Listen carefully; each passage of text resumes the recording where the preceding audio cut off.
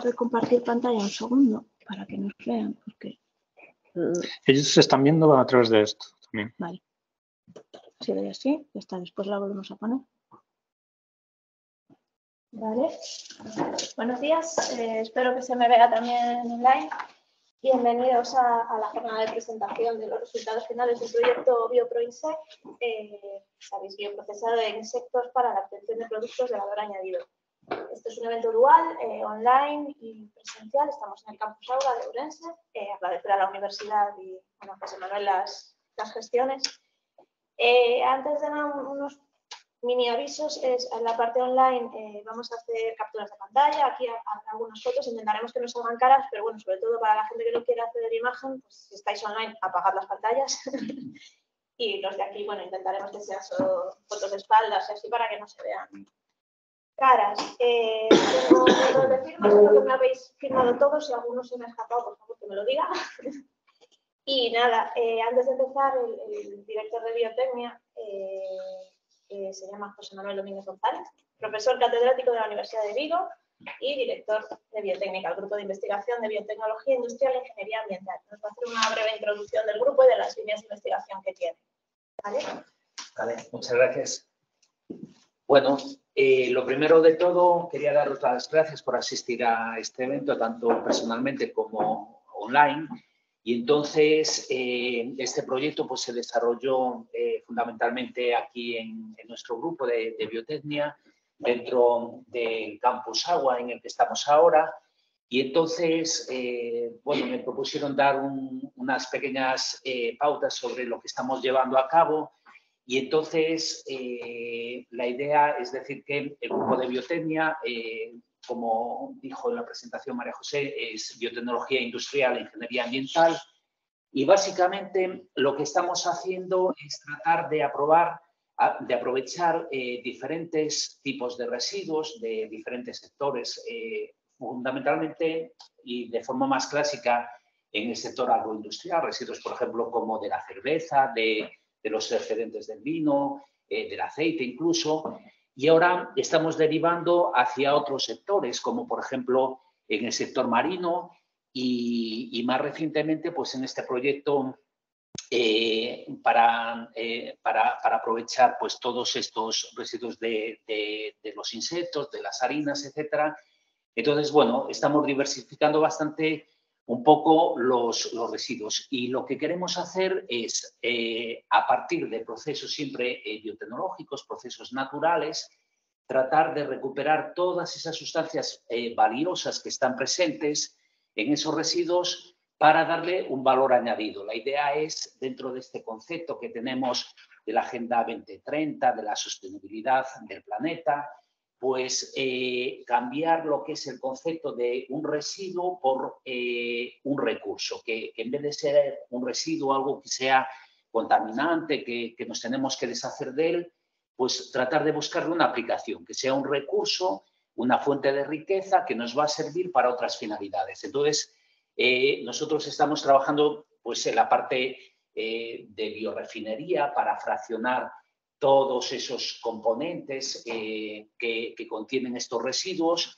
y eh, a través de procesos eh, biotecnológicos llevar a cabo fermentaciones que nos permitan obtener una serie de, compuestos, sobre todo pues, aditivos naturales, que puedan reemplazar aquellos aditivos químicos que se vienen utilizando tradicionalmente para que sean unos productos más más apetecibles por parte de los consumidores. Estos aditivos se pueden emplear en muchos sectores, desde el sector eh, alimentario, que es eh, el que primariamente nos estamos dirigiendo, como al sector eh, cosmético, farmacéutico o incluso al campo de la bioremediación. Por ejemplo, tenemos un proyecto en vigor actualmente que es del, del Ministerio, en donde lo que aprovechamos son los residuos de la cerveza para obtener eh, biosurfatantes que después vamos a emplear para eh, bioremediar suelos contaminantes, contaminados con pesticidas.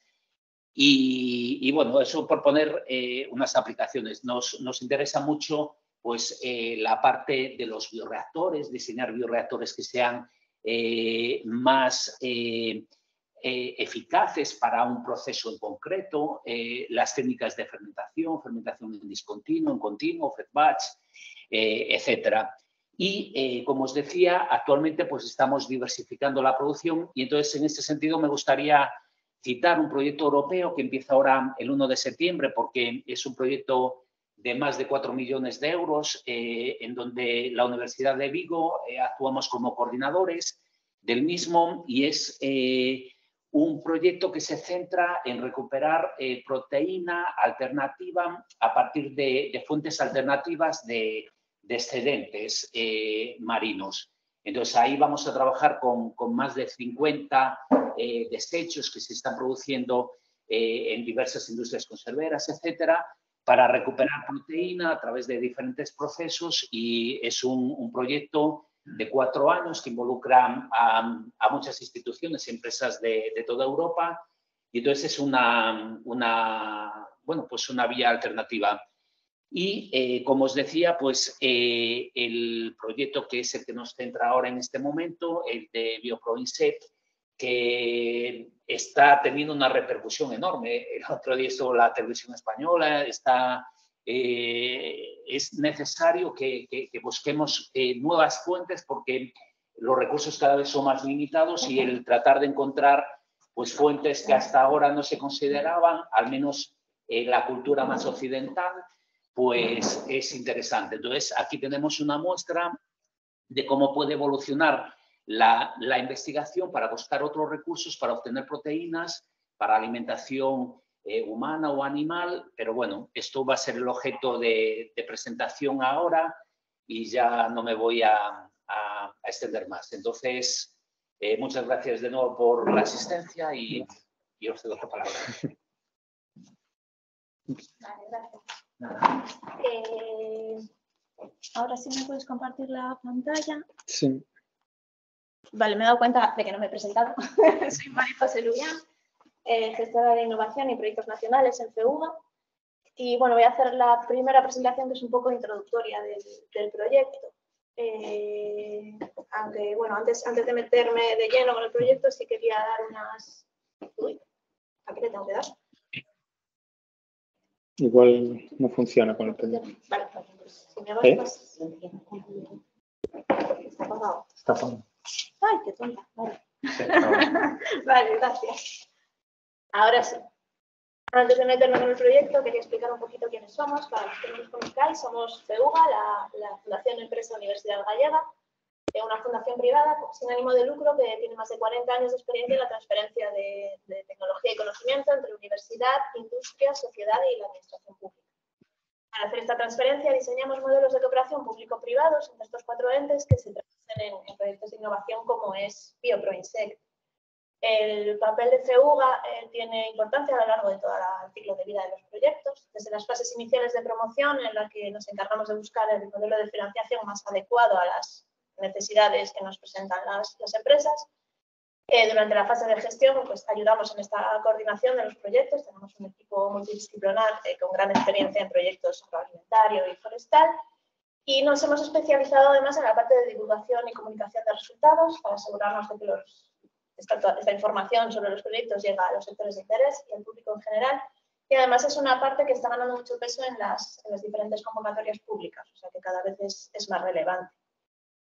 Eh, como muestra de esta experiencia, eh, los últimos cinco años hemos asesorado a más de 1.200 empresas y bueno, tenéis aquí los, los, distintos proyectos en los que hemos ido participando, pues 10 grupos operativos superautonómicos, 10 grupos operativos gallegos y 4 proyectos pilotos, uno de ellos es BioProInsect. Además, eh, somos agente de la red PIDI del CEDETI, del Centro para el Desarrollo Tecnológico Industrial, lo que quiere decir que somos punto de información y asesoramiento sobre incentivos y ayudas a la dirigida a empresas y emprendedores y bueno, no, no, no, os doy más chapa. Me meto ya con el proyecto. Eh, forma parte de la convocatoria de, proyectos piloto, eh, que son agrupaciones de entidades de distintos perfiles que buscan, eh,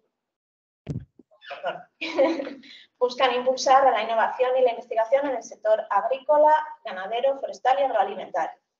Eh, sus actividades están cofinanciadas por el Fondo Europeo Agrícola de Desarrollo Rural en el marco del Programa de Desarrollo Rural de Galicia 2014-2020 y aquí en Galicia se hace a través de la Consellería de Medio Rural. En concreto, BioProInsect tiene un presupuesto de 181.468,56 euros, que se ha subvencionado al 80%, 145.174,85 euros, y de esta subvención el 75% corre a cargo de la Unión Europea. ¿Quién forma BioProInsect? Pues eh, tenemos como empresa solicitante a la y como colaboradoras a la Universidad de Vigo a través del, Grupo de Investigación Biotecnia, que nos ha introducido antes José Manuel, y eh, FEUGA. El contexto del proyecto surge del, sector alimentario global, en el que se está aumentando la demanda de alimentos de, de alto valor nutricional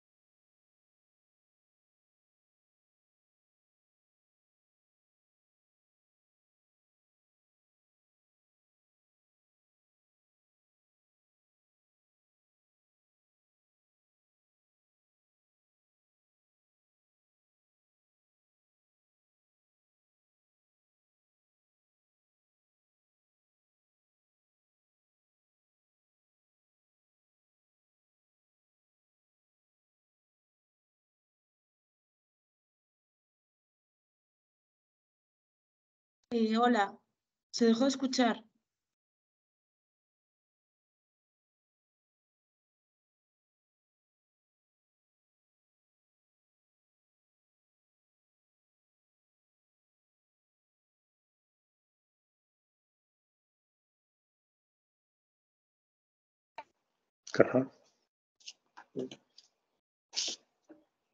Ya está.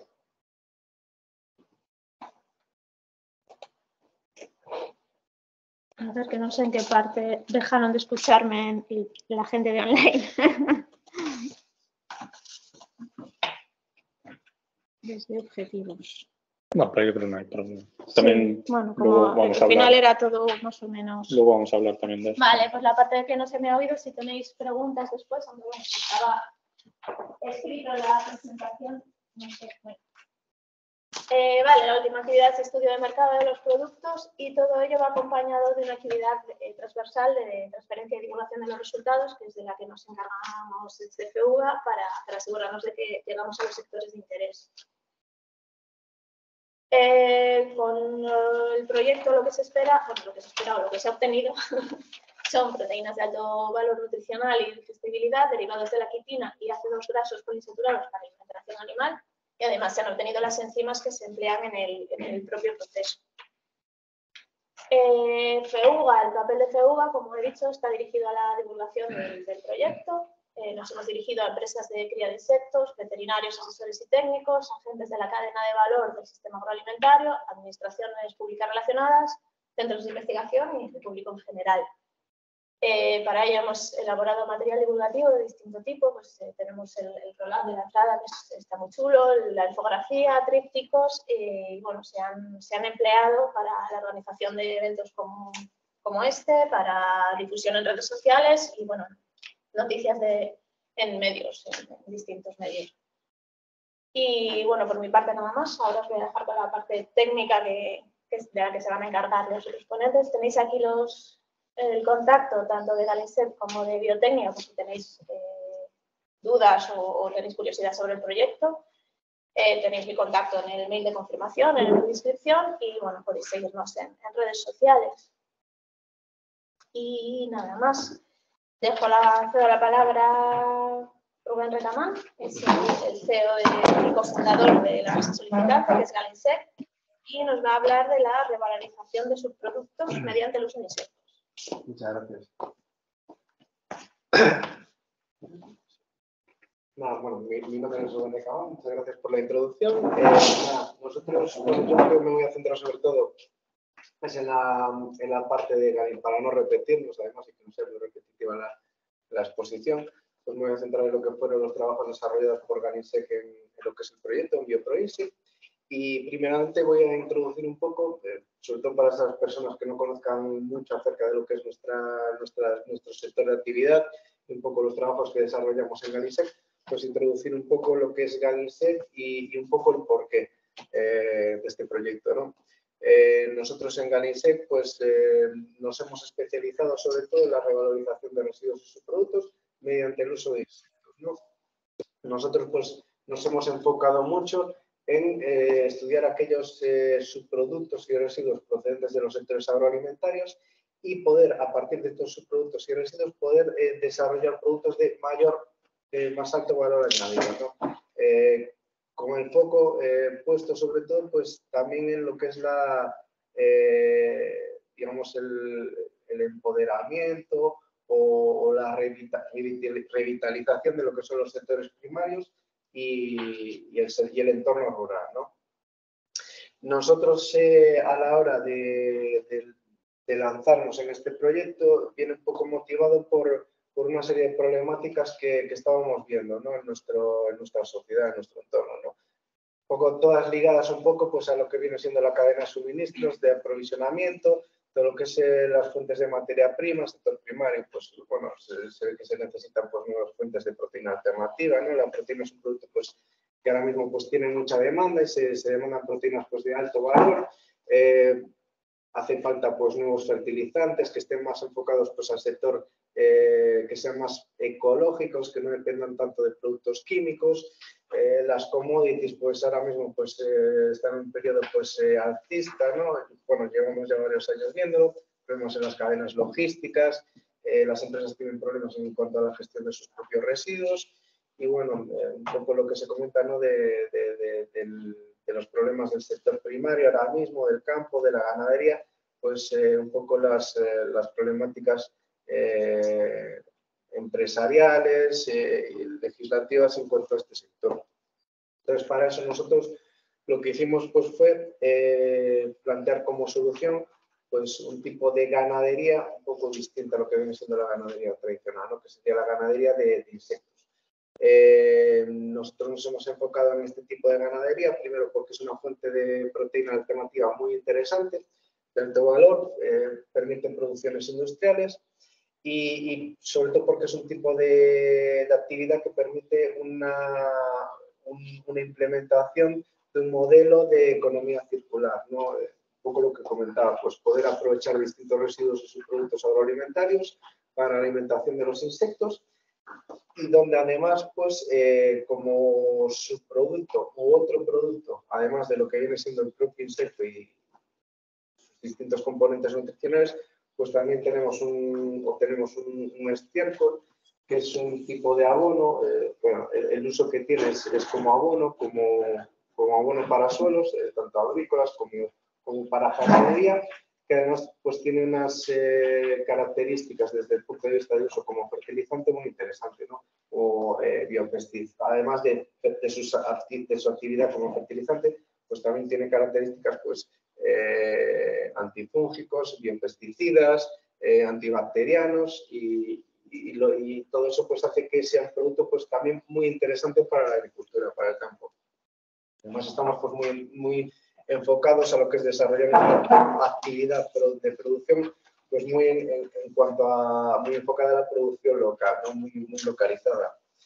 Eh, nosotros en cuanto al tipo de insecto que, al que nos dedicamos, en el que nos especializamos, pues es el insecto tenebre monitor, que a pesar de que normalmente se le conoce como eh, gusano de la harina, ya que tiene forma de gusano, realmente es, un coleóptero, es una larva, es un, es, un, escarabajo, pero lo que se comercializa es la larva. ¿no? Entonces, un poco por eso viene, de ahí viene ese nombre. Nosotros seleccionamos este tipo de insectos eh, principalmente por sus características nutricionales, por sus proteínas de alto valor biológico, además pues tiene en, su formato seco tiene en torno a un 50-55% de proteínas, también presenta una importante, elevada cantidad de ácidos grasos monoinsaturados, poliinsaturados, eh, ricos en, en, ácido oleico, linoleico, torno a 25-27%, eh, y luego también por la escalabilidad que permite su, producción. ¿no? Es, un, es, un, tipo de, de, animal, de especie, que permite pues, eh, mucha escalabilidad a la hora de eh, llevar a cabo pues, pues, los trabajos de producción, ¿no? de, de, producciones más industriales. este tipo de, producto pues, está muy enfocado sobre todo a los mercados, a los sectores, sobre todo de alimentación animal, eh, muy enfocado al sector acuícola, eh, ganadero, porcino, avícola eh, y también al pet food, que es además un tipo de mercado que, presenta gran demanda de este tipo de producto, pero además también otro tipo de, sectores en industrias, como puede ser la, agricultura, la industria química y también el desarrollo de nuevos productos, como pueden ser productos pues, para consumo humano. O sea, ya pasamos de, lo que es esa barrera de, de consumo animal y ahora poco a poco pues ya se está introduciendo, bueno, eh, aquí en España pues ya, ya lo podemos encontrar en lineales de distintas cadenas de, de supermercados. ¿no? Si bien nosotros desde Ganisec realmente eh, donde vemos que este tipo de producto y este tipo de actividad tiene, más, tiene mayor sentido, realmente es en, en la industria química. ¿Por qué? Porque precisamente por sus eh, cualidades, ¿no? su, su, valor nutricional. ¿no? es un insecto que tiene su composición nutricional, es muy interesante eh, y se pueden obtener pues, productos de alto valor añadido a partir del, propio insecto y también de sus subproductos.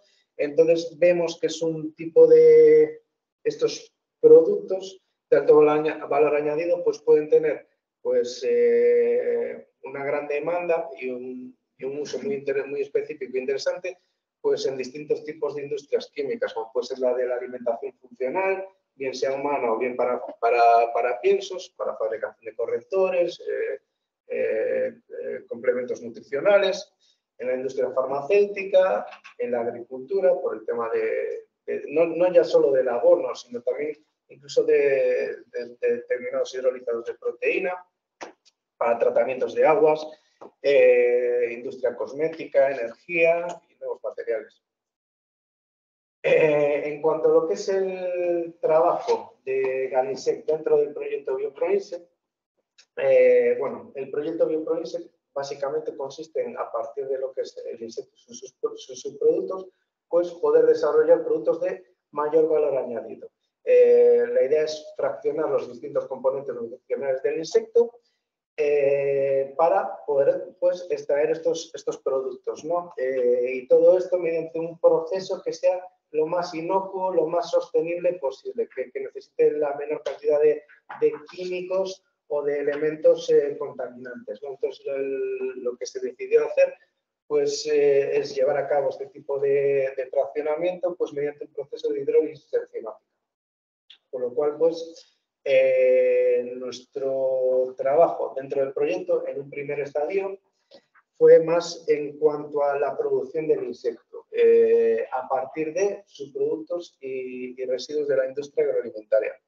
Eh, nosotros lo que hicimos pues, fue a partir de un panel de proveedores que identificamos eh, de distintos subproductos y residuos, pues seleccionar aquellos que considerábamos que podían ser más interesantes para, para el desarrollo tanto del insecto como del propio proyecto. ¿no? Entonces, pues bueno, en cuanto a lo que es el insecto normalmente se alimenta pues de una parte sólida, más sólida, eh, más de cereales, y otra parte, eh, ellos no, necesitan beber, ellos la hidratación la captan del ambiente, pero también de, su propia alimentación, de las frutas, de los distintos vegetales de los que se, de los que se alimentan. Entonces, por un lado, pues estudiamos distintos tipos de frutas, hortalizas, de vegetales, eh, con los que podríamos alimentar al insecto, pues desde el bagazo de la cerveza que, se obtiene luego de, la, de, la, producción de la sidra, eh, patatas de estrío, distintos tipos de frutas y vegetales eh, y hortalizas que por motivos de forma o, por tener cualquier tipo de eh, problema, eh, pues no finalmente no llegan a los líneas de los supermercados, pues bueno, eh, digamos que estudiamos distintos tipos de, de, productos vegetales para incluir en las dietas del insecto. Por un lado, este tipo de vegetal, de frutas y hortalizas, por otro lado también cereales y otro tipo de, productos más procesados, ¿no? Eh, pues descartes de panificadoras, bien sea por temas de calidad o por temas de, proximidad de fecha de caducidad, eh, subproductos de, también de panadería, eh, distintos tipos de, productos, ¿no? incluso también eh, plásticos. este tipo de insecto, el tener el monitor, tiene la característica de que es capaz de alimentarse prácticamente cualquier cosa realmente, ¿no? Pero, pero una de, las, de, sus características es que es capaz de alimentarse de un tipo de plástico que es el poliestireno, que además es un tipo de plástico que no, no es posible reciclar. O sea, ahora mismo pues existe en, lo que es la industria del reciclaje un gran problema con este tipo de productos, ya que la única forma de deshacerse de él es mediante pues, eh, la incineración. Y eso conlleva pues, la liberación de distintos gases de, tipos de gases de efecto invernadero. ¿no? Eh, pues bueno, nosotros también hicimos una prueba con este tipo de producto. Eh, una vez que ya habíamos, pues eh, teníamos, digamos, que esa cartera de esos productos, lo que hicimos pues, fue diseñar distintos test, experimentos, ¿no? distintas dietas para utilizar en, para aplicar en nuestros insectos. llevamos a cabo distintos experimentos, pues probando distintos tipos de, dietas mezclando eh, todos estos subproductos y a nivel general, eh, en, principio, todos, prácticamente todos los subproductos funcionaron mm, correctamente. O sea, hubo algún tipo de subproducto que funcionó mejor o, no tan bien, eh, salvo realmente el poliestireno. El poliestireno, el plástico, realmente eh, sí que son capaces, los insectos son capaces de alimentarse de él, pero digamos que no es el alimento óptimo para el desarrollo del insecto. Digamos que ese grupo de estudio eh, tenía un desarrollo mucho más eh, tardío que, el resto de, grupos de estudio. ¿no? lo que nos permitió también este tipo de, investigación fue también observar que para distintas, distintos estadios del insecto son más convenientes un tipo de dieta o un tipo de, de, alimentación que otras, ¿no? Entonces eso también nos permitió, pues, digamos, eh, llevar a cabo un trabajo de, de, diseño de una metodología de, de, producción. Digamos que a partir de, los resultados que tuvimos con esta investigación, pues pudimos diseñar un nuestro propio sistema de producción ¿no? de, insectos. Eh, a grandes rasgos, lo que viene siendo la producción de insectos, pues se compone de distintas fases, tantas fases como, fases tiene el propio insecto. ¿no? El insecto inicialmente pues, eh, es un huevo, tiene, tiene formato de huevo, eh, y, es un, y en este estadio está durante aproximadamente unos 5, 7 días, como mucho una semana.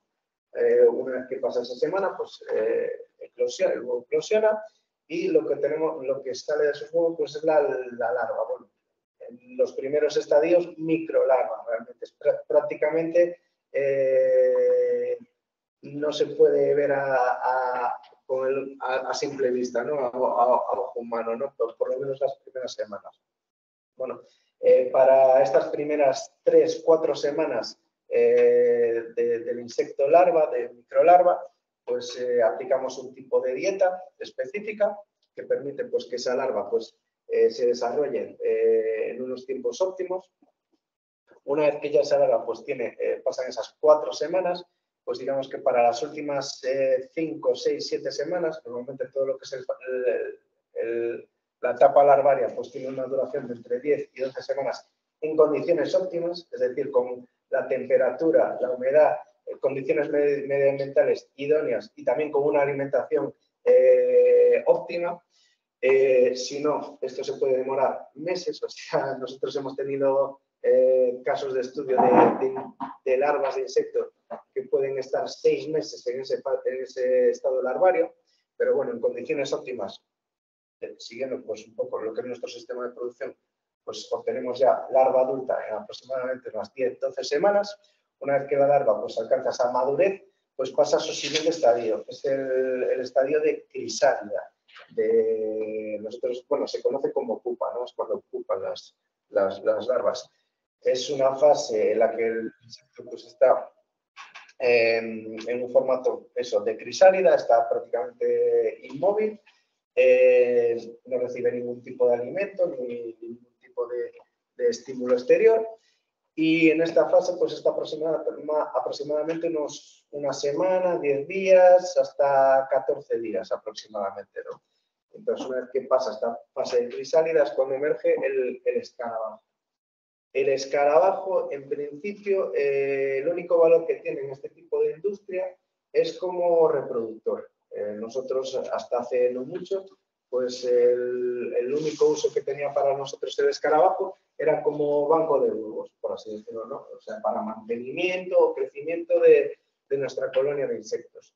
Eh, si bien, bueno, luego José Manuel de, de la Universidad de Vigo pues, comentará con mayor profundidad, nosotros luego de la caracterización de este tipo de producto, lo que observamos es que es un producto que tiene muy el escarabajo, eh, algo que es el único residuo que realmente generamos con nuestra actividad, pues vimos que realmente pues, es un producto muy interesante. ¿no? Entonces, lo que hicimos pues, fue enfocar eh, el proyecto de BioProInsect no tanto en la eh, valoración de lo que es la larva, que es lo que se comercializa, sino más en la valoración del de el escarabajo. El escarabajo no tiene ningún tipo de uso industrial a día de hoy, básicamente porque su contenido en quitina es demasiado elevado como para utilizarlo como, como alimento para, para, otras especies animales. ¿no?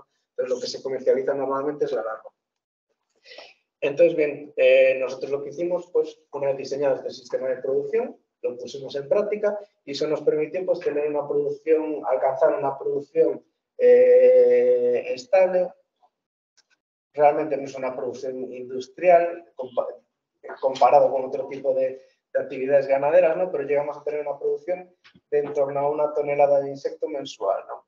Eh, aplicando pues un poco todo este trabajo que llevamos a cabo de, de investigación. Y finalmente, lo que es la parte de bioprocesado, que simplemente voy a comentarle un poco los trabajos que llevamos a cabo, ya que José Manuel pues, eh, luego va a profundizar en todo lo que es la parte técnica del bioprocesado de insectos.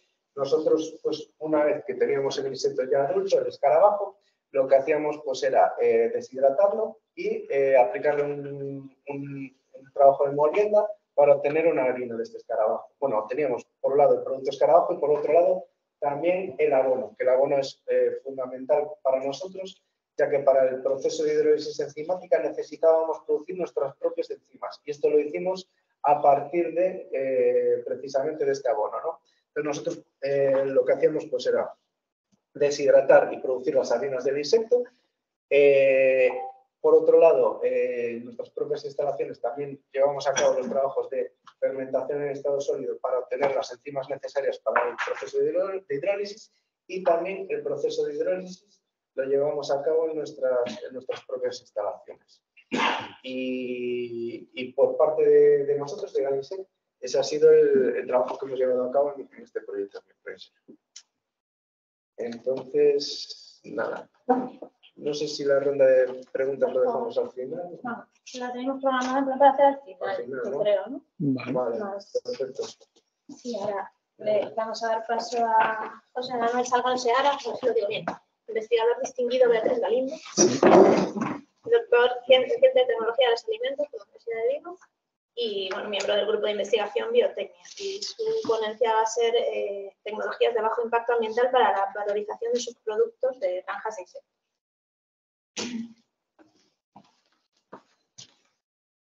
Bien, buenos días a todos. Yo os voy a presentar un poco las tecnologías que hemos desarrollado en este proyecto, que son tecnologías de bajo impacto ambiental para el aprovechamiento de los subproductos de eh, una granja de insectos. Lo hemos hecho en colaboración con, eh, con la empresa Galinset, esta parte de técnica.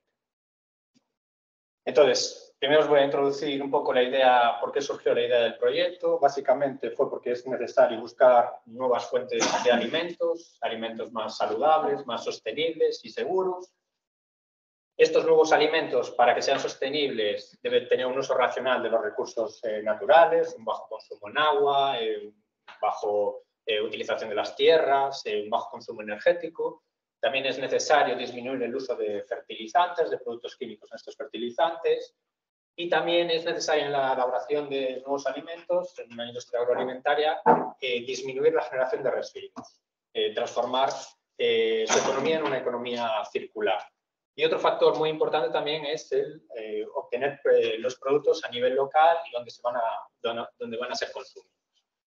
Entonces, el insecto es idóneo para cumplir todas estas características. ¿no? Es, el insecto es un alimento muy nutritivo, tiene un alto contenido en proteína y en lípidos, que son nutrientes necesarios eh, para tener una salud buena para los consumidores y eh, si lo comparamos con otras fuentes de alimentos, los, eh, el contenido en energía, el contenido en proteína y lípidos de los insectos es muy similar a otros o incluso es mejor que otras eh, fuentes de alimentos, tanto animal como, como, vegetal. Pero la gran ventaja de los insectos es el, el, la baja huella hídrica, o sea, el bajo consumo de agua en su producción, que generan pocos gases de efecto invernadero y es necesario poco, eh, usar poco suelo para, para su producción.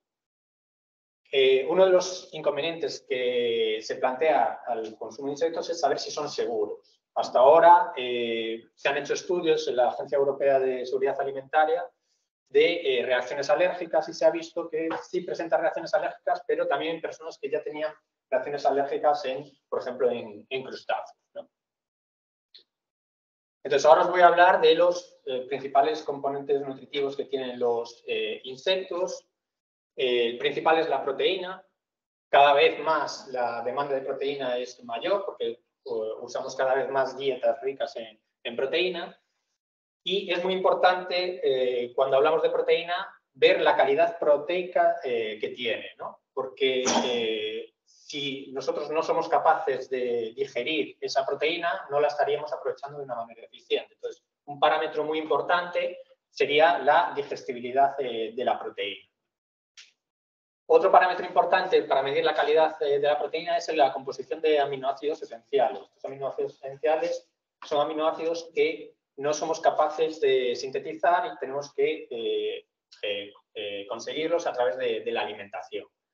También es importante la solubilidad que tenga la proteína para que luego podamos incorporarlos a los alimentos. Tiene que tener una alta solubilidad y otra de las características de aplicación de las proteínas en alimentación es como emulsionante. Entonces es importante que tenga una buena capacidad emulsionante. Y en este sentido ya hay estudios donde la proteína de insectos se vio que es eh, buena en estas eh, características, incluso mejor a otras fuentes de proteína. Además de la proteína, eh, podemos obtener el hidrolizado de proteína, que sería un tratamiento que se hace a la proteína para aumentar su digestibilidad, eh, aumentar eh, la biodisponibilidad, la solubilidad que tenga. También se puede permite aumentar la, la, capacidad emulsionante. Y este hidrolizado de proteína consistiría en péptidos bioactivos que son obtenidos por un tratamiento de hidrólisis que pueden ser químicos, físicos o biológicos. Eh, estos péptidos bioactivos que se forman a partir de la proteína tienen la ventaja también de que tienen una alta capacidad antioxidante y tienen aplicaciones también como antihipertensivos, antiinflamatorios, también son eh, antimicrobianos. Entonces, estamos aumentando la calidad nutricional eh, de esta proteína mediante un tratamiento de hidrólisis. Eh, hasta ahora lo más utilizado eran tratamientos químicos, porque con esos tratamientos químicos sí que se consigue un alto grado de hidrólisis, prácticamente del 90, del 100%. Lo que pasa es que son tratamientos muy contaminantes, son eh, tratamientos son de extracción ácida y alcalina. Entonces se han empezado a estudiar eh, otras alternativas que son tratamientos físicos, como puede ser ultrasonidos o microondas. Sin embargo, estos tratamientos físicos siempre están asociados a otros eh, tratamientos que eh, suelen ir acompañados eh, necesariamente de otros tratamientos químicos o biológicos para aumentar el grado de, hidrólisis. Y por último tenemos los tratamientos biológicos, que sería un tratamiento con enzimas, son proteasas, que permiten hacer este proceso de hidrólisis de la proteína o también se pueden utilizar microorganismos que son capaces de producir estas enzimas. La ventaja de estos tratamientos es que tiene un menor impacto ambiental, pero el gran inconveniente de estos eh, tratamientos biológicos es el elevado coste que tienen las enzimas y que los rendimientos que se alcanzan de grado de hidrólisis no son tan altos como los eh, tratamientos sin embargo, nosotros este es el eh, tratamiento que hemos elegido para llevar a cabo eh, nuestro proyecto, para llevar a cabo este, la obtención de este de proteína, debido a estas ventajas medioambientales que tiene. Para obtener un, hidrolizado por este tratamiento hay que estudiar diferentes parámetros que veis aquí abajo, que serían si es necesario realizar un pretratamiento de la materia prima, controlar el pH del tratamiento, cuánta enzima tenemos que añadir, eh, la temperatura del tratamiento y el, tiempo de tratamiento. Otro de los principales eh, nutrientes que tienen los insectos son los lípidos. Eh, graso, los principales ácidos grasos que están presentes en los insectos, principalmente en este Tenebrio molitor, que es el que produce Ganiset, serían los ácidos grasos poliinsaturados. Luego veremos una caracterización de las diferentes harinas, pero estos serían los ácidos grasos mayoritarios. Y estos son ácidos grasos eh, de un alto valor eh, nutritivo. Tienen un bajo contenido en ácidos grasos saturados, que serían los que presentarían eh, mayor problema. Y luego el contenido que tienen es similar a otras carnes, a otra carne procedente de animales y también tienen contenidos similares a aceites vegetales. El tercer componente eh, importante de los insectos sería eh, la quitina. La quitina es un polisacárido que está eh, unido por unidades de N-acetilglucosamina que están unidas por enlaces beta-1,4, que es lo que le da rigidez. La quitina es lo que vemos, la parte dura de los insectos o moluscos o crustáceos, se debe a esta quitina. Eh, la quitina es el segundo biopolímero más importante en la naturaleza después de la eh, celulosa, pero actualmente está poco explotada. Sí que hay países asiáticos donde ya la procesan para obtener productos de uso industrial, pero eh, aún está, está, poco explotada. Dentro de los insectos va a variar su contenido en función sobre todo de la fase de crecimiento del insecto, de la especie de insecto y también la dieta puede influir eh, eh, en este contenido en quitina eh, en los insectos. Uno de los inconvenientes de la quitina es que en altas concentraciones va a ser un factor antinutricional, debido a que los animales no podemos digerirla. Sí que es verdad que a bajas concentraciones sí que tiene un efecto prebiótico, puede tener un, un efecto positivo, pero cuando tenemos concentraciones más elevadas es un inconveniente para la alimentación. Y otro de los problemas que tiene la quitina eh, para usar a nivel industrial es que es insoluble. Entonces, lo que se suele hacer es eh, un tratamiento de, acetilación para transformar esa quitina, que es insoluble, en quitosano, que es un producto más soluble y que ya podemos incorporar en diferentes eh, productos a nivel industrial. Además del quitosano, también se pueden obtener otros derivados de la quitina, que serían los quitoligosacáridos, que son unidades más pequeñas de la cadena de, quitina, y también el monómero de ese polisacárido, que sería la N-acetilglucosamina. Todos estos componentes de la quitina eh, tienen en común eh, como positivo es que eh, son antimicrobianos principalmente. Además, el quitosano tiene muchas aplicaciones como biopolímero. Podemos realizar embalajes, encapsular medicamentos con este quitosano y además de proteger los alimentos, eh, lo que estamos haciendo es, como tiene actividad antimicrobiana, evitar alargar su vida útil con este quitosano. Eh, luego también veremos al final también aplicaciones, tiene aplicaciones eh, como clarificante en bebidas, en vino, en, cerveza, ya que puede formar flóculos que pueden precipitar estas sustancias que hay en las bebidas. También se utiliza para eliminar metales pesados en aguas residuales, puede tener también esa aplicación. Bien, hemos visto que tiene cualidades eh, nutritivas. Eh, los insectos tiene componentes que de alto valor nutritivo. Sin embargo, nos enfrentamos al gran desafío del uso del insecto como alimento, que es que no, no queremos comer insectos directamente. Los países occidentales no estamos acostumbrados a, consumir estos insectos. Aquí os presento un estudio que hicieron el año pasado en una universidad de Cataluña, donde prácticamente casi el 90% de, de, los encuestados nunca había comido insectos y las principales razones, pues, era que, les daba asco comerlos, que no sabían si era un alimento seguro eh, y que no era normal en nuestra sociedad comer este tipo, este tipo de alimentos.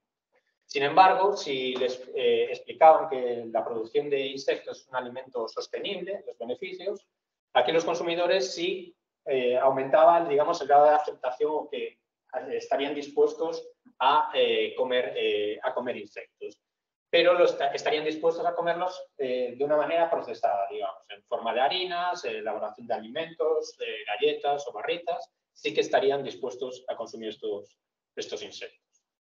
Entonces, eh, lo que nosotros vimos es que eh, los grandes desafíos que presentaban los insectos como alimentos eran estos dos. la aceptación por parte del consumidor de, que comer los insectos y, por otro lado, eh, mejorar la digestibilidad de la proteína, sobre todo en estos insectos que tienen un alto contenido en quitina. La unión de la quitina con la proteína eh, baja mucho el grado de digestibilidad de esa proteína. Entonces, eh, nosotros planteamos, junto con Galinset, la idea de llevar a cabo un bioprocesado de los insectos para resolver estos dos grandes desafíos. ¿Por qué? Porque así obtendríamos productos procesados no tendría, el consumidor no tendrá que consumir directamente el insecto y podrá consumir eh, eh, los eh, nutrientes de estos, de, estos, de estos insectos y además mejor, obtenemos dos productos de alto valor añadido, por un lado la proteína y por otro lado la quitina, que también tiene muchas aplicaciones a nivel industrial.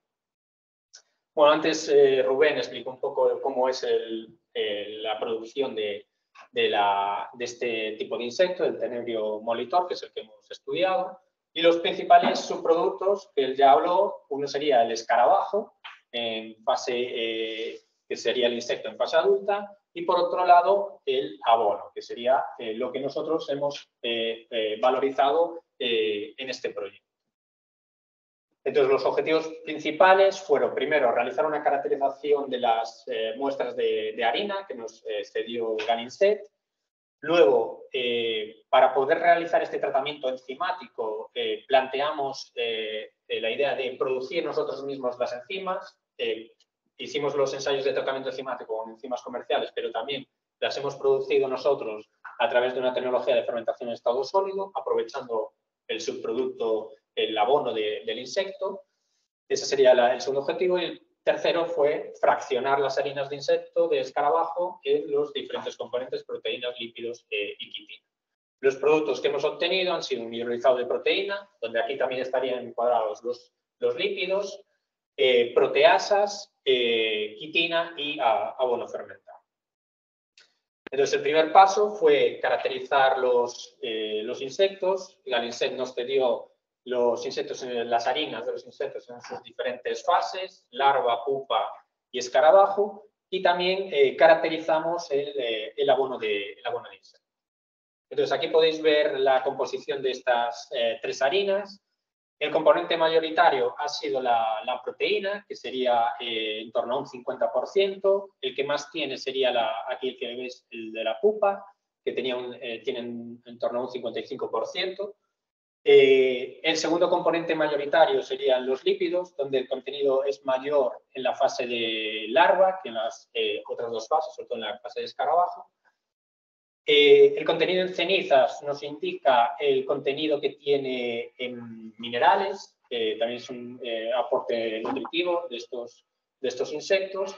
Y por último, al final veis la quitina. Y vemos cómo el contenido en quitina del escarabajo eh, es muy superior al del de, contenido en larva y pulpa. Por eso eh, lo que se justifica es realizar este tratamiento enzimático en esta fase de, escarabajo y no tanto en la fase de, larva eh, o pulpa. Realizamos también un perfil de los aminoácidos que hay en las tres harinas y los que veis ahí en verde arriba serían los aminoácidos esenciales. Eh, en general presentó un alto contenido en aminoácidos eh, esenciales. Eh, aquí abajo podéis ver el contenido total de aminoácidos esenciales y aquí también volvió a ser la pupa, la harina de pupa, la que tuvo un mayor contenido en estos aminoácidos. Eh, los que más destacan serían la leucina y la lisina, que son aminoácidos, por ejemplo, que están relacionados con la eh, síntesis de tejidos musculares. Entonces es muy apropiado, sobre todo para alimentos eh, eh, para usar en deportistas, para tener un alto rendimiento, se suelen incorporar estos, estos aminoácidos. También los aminoácidos juegan un papel importante en el sabor. Cada aminoácido aporta un sabor diferente. La mayoría de los aminoácidos esenciales aportan un sabor amargo. Eh, y luego aquí hay aminoácidos que aportan un sabor dulce. Lo que hemos visto es que en la harina de escarabajo, por ejemplo, predominan más los eh, aminoácidos que aportan este sabor dulce. Entonces, al final, aquí tenemos un equilibrio de eh, relación entre aminoácidos que dan sabor dulce y sabor amargo. Vemos que el que tiene un mejor equilibrio, digamos, es el, escarabajo. Las otras harinas tienen un sabor más, más, más amargo. Esto puede ser importante luego a la hora de incorporar estas harinas a los diferentes eh, alimentos. Aquí comparo, por ejemplo, la harina de larva con, las, eh, eh, los aminoácidos esenciales en otras fuentes de proteína, ya sea proteína animal o proteína vegetal o, o del pescado. tiene valores superiores a estas, a estas, a estas proteínas. También realizamos ensayos de digestibilidad. Aquí lo que hicimos fue eh, simular una digestibilidad ácida, que sería la digestibilidad del estómago, y seguida de una digestibilidad básica, que sería la que se produce en, el, intestino.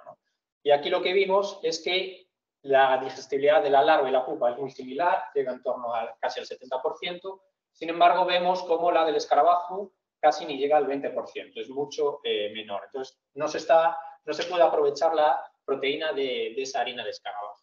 Aquí las comparo con otro tipo de harinas, eh, la que tiene un alto grado de digestibilidad es la del huevo, que es casi del 100%, pero la de insecto, la de larva y pupa, se asemeja, por ejemplo, a la de la soja, tiene en torno a un 70% eh, también, y supera, por ejemplo, la harina de trigo, al gluten o la gelatina. Luego caracterizamos el perfil de ácidos grasos de estas harinas y también vimos que el ácido graso eh, mayoritario es el ácido linoleico, que es un ácido graso poliinsaturado. Eh, luego, el otro eh, ácido graso importante fue el ácido oleico, que llegó en torno a un 20%, y también este es un ácido monoinsaturado. Entonces, estos serían los ácidos grasos más interesantes desde un vista del valor nutricional. Y el, el contenido en ácidos grasos saturados veis que es bastante bajo. Entonces, sería un perfil lipídico eh, bueno para utilizar en, alimentación. Y aquí tendríamos también el aporte de minerales que puede suministrar estas harinas de, insecto y aquí serían los porcentajes de, eh, que cumplirían con la recomendación diaria de ingesta de estos minerales, donde prácticamente se alcanzan altos valores para, varios eh, minerales. Y por otro lado, lo que caracterizamos fue el otro subproducto, el abono de insecto. Este abono de insecto se compone de las heces de los insectos y también restos de comida que no, que no, que no aprovechan los insectos. Aquí lo que obtenemos es un alto contenido en polisacáridos, por ejemplo, celulosa eh, y silano, un elevado contenido y eso es lo que a nosotros, una vez que lo caracterizamos, vimos que tenía potencial para ser utilizado en fermentación en estado sólido, porque eh, estos polisacáridos van a servir de nutriente para que un hongo pueda producir las enzimas en este proceso de fermentación. También vimos que aún tiene un contenido en quitina eh, de un 7%, este contenido en quitina se asocia sobre todo a digamos, las pieles que van dejando las larvas y se pueden ir acumulando ahí en ese abono, en ese abono de entonces, después de caracterizar, lo que hicimos fue producir proteasas, que son las enzimas necesarias para separar la proteína de la quitina. Lo hicimos a través de una tecnología que se conoce como fermentación en estado sólido. Es un proceso biotecnológico de bajo impacto ambiental que tiene la ventaja que puede utilizar subproductos agrícolas directamente sin tener que hacer tratamientos. Eh, simplemente es añadirles un poco de agua para que tengan un cierto grado de humedad y estos sustratos los inoculamos con un microorganismo. Los que mejor crecen en estas condiciones de fermentación en estado sólido son los hongos filamentosos. Crecen en esta forma de hifas que van penetrando en el sólido y estas hifas lo que van liberando son enzimas que nosotros luego podemos extraer y, extraer y aprovechar en, otros procesos eh, industriales. Las ventajas que tiene la fermentación en estado sólido es que consume poca agua, consume poca energía, obtenemos los productos con un alto grado de concentración y son procesos bastante eh, relativamente simples que luego pueden ser implantables en las industrias eh, agroalimentarias.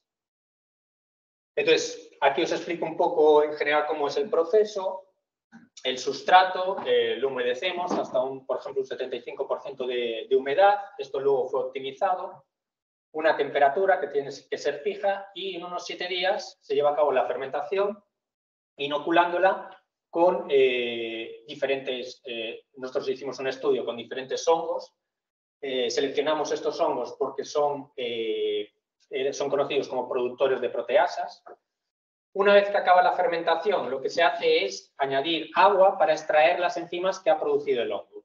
Entonces, en una fracción líquida obtenemos las proteasas, las enzimas, y luego la fracción sólida eh, podríamos seguir utilizándola como abono. Sería un sólido incluso enriquecido. Luego veremos que tiene eh, eh, ha sido enriquecido en, en quitina, por ejemplo.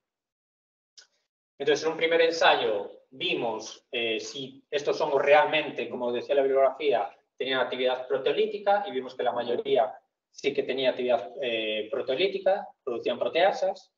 Y luego hicimos un ensayo ya en fermentación con una eh, con el abono de insecto y de los hongos eh, estudiados vimos que el Aspergillus uvarum es un hongo aislado de eh, las vides, está en la colección de la Universidad de Minho en Portugal, en Braga. Vimos que era el hongo que producía más proteasas. Una vez seleccionado el hongo, estudiamos, además del abono de insecto, su aplicación en la propia harina de escarabajo, lo que pasa es que vimos que no producía eh, gran cosa. Y entonces eh, probamos el abono de insecto también mezclado con otro subproducto que también utiliza la granja del insecto como alimento, que es el bagazo de cerveza, porque en fermentación de estado sólido suele ser un eh, sustrato que suele ir bien para el crecimiento de los hongos. Y aquí vimos donde eh, mejoramos la producción de proteasa mezclando el abono de insecto con, esta, con este bagazo de cerveza. Una vez seleccionado el sustrato y el microorganismo, pasamos a eh, optimizar el proceso en cuestión de temperatura y eh, humedad. Realizamos un diseño de experimentos donde estudiamos un rango de temperatura en torno a 22 y 28 grados y un grado de humedad del sólido en torno al 50 al 70%. Entonces llegamos a un máximo de eh, esta actividad de proteasa en unas condiciones óptimas de en torno a 25 grados centígrados y 62% eh, de humedad de, sol. Luego procedimos al eh, escalado del tratamiento. Inicialmente los ensayos los hicimos con 5 gramos de, sustrato y eh, empezamos a aumentar la escala hasta 200, 400 hasta llegar a una cantidad de 500 gramos. Aquí podéis ver dónde realizábamos las fermentaciones. Eran eh, fermentaciones en bandejas, donde se ponía el sólido eh, sobre estas bandejas húmedo y ahí se inocula con el hongo y eso se mete en incubadoras para el crecimiento de, y la producción de proteasas. También hicimos eh, experiencias en un bioreactor diseñado por el grupo Biotenia, en un bioreactor de columna. Y por último hicimos los ensayos con las propias bandejas donde se crecen los insectos, que son las bandejas que tienen en la empresa Galinset Ahí realizamos también la fermentación en estado sólido para que luego también sea más fácilmente implantable en la, propia empresa. Una vez optimizado el proceso, lo implantamos en la, eh, en la empresa Galinset y eh, alcanzamos eh, resultados muy similares a los que hemos alcanzado aquí de producción de proteasas en el laboratorio de, de biotecnia. Lo hacíamos en esas bandejas que visteis aquí. Estas son las bandejas del propio de propia. Allí, eh, para la cría de insectos, también controlan la temperatura, en temperaturas en torno a los 25 grados. Entonces, es muy fácilmente implantar, a la vez que producen los insectos, pueden eh, realizar estas fermentaciones en estado sólido para producir las, las enzimas. Aquí tendríamos el rendimiento global de la fermentación en estado sólido. Por cada kilogramo de abono de insecto seríamos capaces de obtener eh, una enzima en polvo ya. Aquí sería el líquido con proteasas, lo liofilizamos y obtendríamos la enzima en polvo y llegamos a una cantidad de 180 gramos por cada kilo de abono procesado. Y aquí también obtendríamos el, el sólido fermentado, el abono fermentado, que también tendría aplicación como, como fertilizante. Después de eh, realizar esta producción de proteasas, también realizamos lo que es el fraccionamiento de la proteína y la quitina que hay en los escarabajos. Para ello usamos proteasas comerciales y también usamos las que producimos eh, nosotros. En cuanto a las proteasas comerciales, seleccionamos algunas proteasas eh, que se comercializan y que, son, y que la bibliografía ya las utilizaba para para esta obtención de hidrolizados de proteína. Aquí os pongo algunos ejemplos que había hasta ahora de diferentes estudios que se habían hecho en diferentes eh, insectos. Eh, este de aquí arriba sería el escarabajo del estiércol. aquí sería la langosta, por ejemplo el grillo, la, mosca negra. ya se habían hecho ensayos de grado de hidrólisis por encima. Sin embargo, los grados de hidrólisis que se consiguen, el mayor fue del 50%. ¿no? Eh, es difícil llegar a grados de hidrólisis eh, similares a los de los tratamientos eh, químicos. Y luego el, contenido en proteína que se obtiene en estos hidrolizados es siempre en torno a un 60% de, de, proteína. Entonces, nosotros en un primer ensayo estudiamos las diferentes enzimas comerciales y seleccionamos esta proteasa de, procedente de Aspergillus oryzae como la que mejor hidrolizaba la proteína. Aquí veis el tiempo de hidrólisis, llegamos hasta las 24 horas, pero vimos que a las 6 horas prácticamente se alcanzaba el máximo. Entonces seleccionamos ese tiempo de tratamiento enzimático. Este tratamiento enzimático entonces sería a una temperatura de 50 grados, ajustamos el pH a 8,2 y eh, realizamos eh, el tratamiento durante 6 eh, horas. Lo que optimizamos fue cuánta agua tenemos que añadir para llevar a cabo este tratamiento enzimático. Eso lo estudiamos a través de este parámetro que veis aquí, relación líquido-sólido, eh, y eh, estudiamos también cuánta enzima tenemos que añadir. Estas son las unidades por gramo, serían unidades de actividad de enzima por gramo de sustrato. Y eh, obtuvimos un máximo de hidrólisis del 72% con una relación líquido-sólido de 15. Esto quiere decir, pues, por cada gramo de harina de escarabajo tendríamos que añadir 15 mililitros de, agua. Y esta sería la cantidad de enzima que, habría, que tendríamos que, añadir. Aquí luego hicimos un escalado del grado de hidrólisis desde 5 a 100 gramos. Este eh, hidrólisis enzimática la hicimos eh, en un bioreactor, luego también lo veréis en el laboratorio, eh, donde aquí podemos controlar temperatura, pH, agitación eh, lo que vimos es que al aumentar la escala sí que bajó un poco el grado de hidrólisis y eh, tenemos un grado de hidrólisis en torno al 65%. Eh, También estudiamos el quitar los lípidos a la harina de escarabajo, pero vimos que eso no mejoraba el proceso de hidrólisis. Entonces, prácticamente era similar. Entonces, eso, en función de lo que queramos, podemos extraer antes los lípidos o hacerle el tratamiento de hidrólisis enzimática y que los lípidos vayan junto con el hidrolizado de proteínas. También depende del valor que, de donde queramos aplicar el producto. Y luego aplicamos la misma tecnología en la granja de Galicet y vimos que el grado de hidrólisis eh, fue similar. En el caso de Galinset, en vez de hacerlo en este bioreactor de control eh, que tenemos aquí en el laboratorio, se hicieron simplemente eh, bidones de 5 litros, donde mezclábamos puntualmente, se agitaba puntualmente eh, el, agua con, el, con la harina de escarabajo, lo que sí se controlaba era la temperatura a 50 grados y vimos que no había gran diferencia eh, de grado de hidrógeno. Aquí vemos el contenido que tiene en aminoácidos totales, vemos cómo aumenta desde, digamos, esto sería la arena eh, de escarabajo sin hidrolizar, y una vez hidrolizado, cómo aumenta el contenido de aminoácidos totales. Y la actividad antioxidante, que era una de las cualidades que tenían los péptidos que se obtienen los hidrolizados de proteína, vemos cómo la actividad antioxidante, si comparamos la harina de escarabajo con el hidrolizado, prácticamente aumenta 10 veces la eh, actividad eh, antioxidante. Y los valores que alcanzamos tanto en el laboratorio como en la granja Galinset fueron eh, similares. En cuanto al rendimiento del proceso, pues por cada kilogramo de harina de escarabajo vamos a poder obtener en torno a 760 gramos de hidrolizado de proteína. Aquí, además de proteína, vamos a tener también lípidos y, minerales, eh, pero eso también son eh, componentes nutritivos para luego la elaboración de alimentos. Y por otro lado, vamos a tener eh, quitina, que también veremos luego qué aplicaciones, y ya hemos mencionado antes, aplicaciones que puede, que puede tener. Estos ensayos también se fueron realizados con enzima comercial y también con la enzima producida por, por nosotros. Ahora os describo los eh, productos que obtenemos eh, tras estos tratamientos de tanto de fermentación en estado sólido como tratamiento enzimático. el primero de los productos que os menciono es el extracto enzimático, que nosotros lo usamos en nuestro propio proceso, pero además podríamos comercializarlo para que se pueda utilizar en otros eh, sectores industriales. Tiene potencial también de comercialización.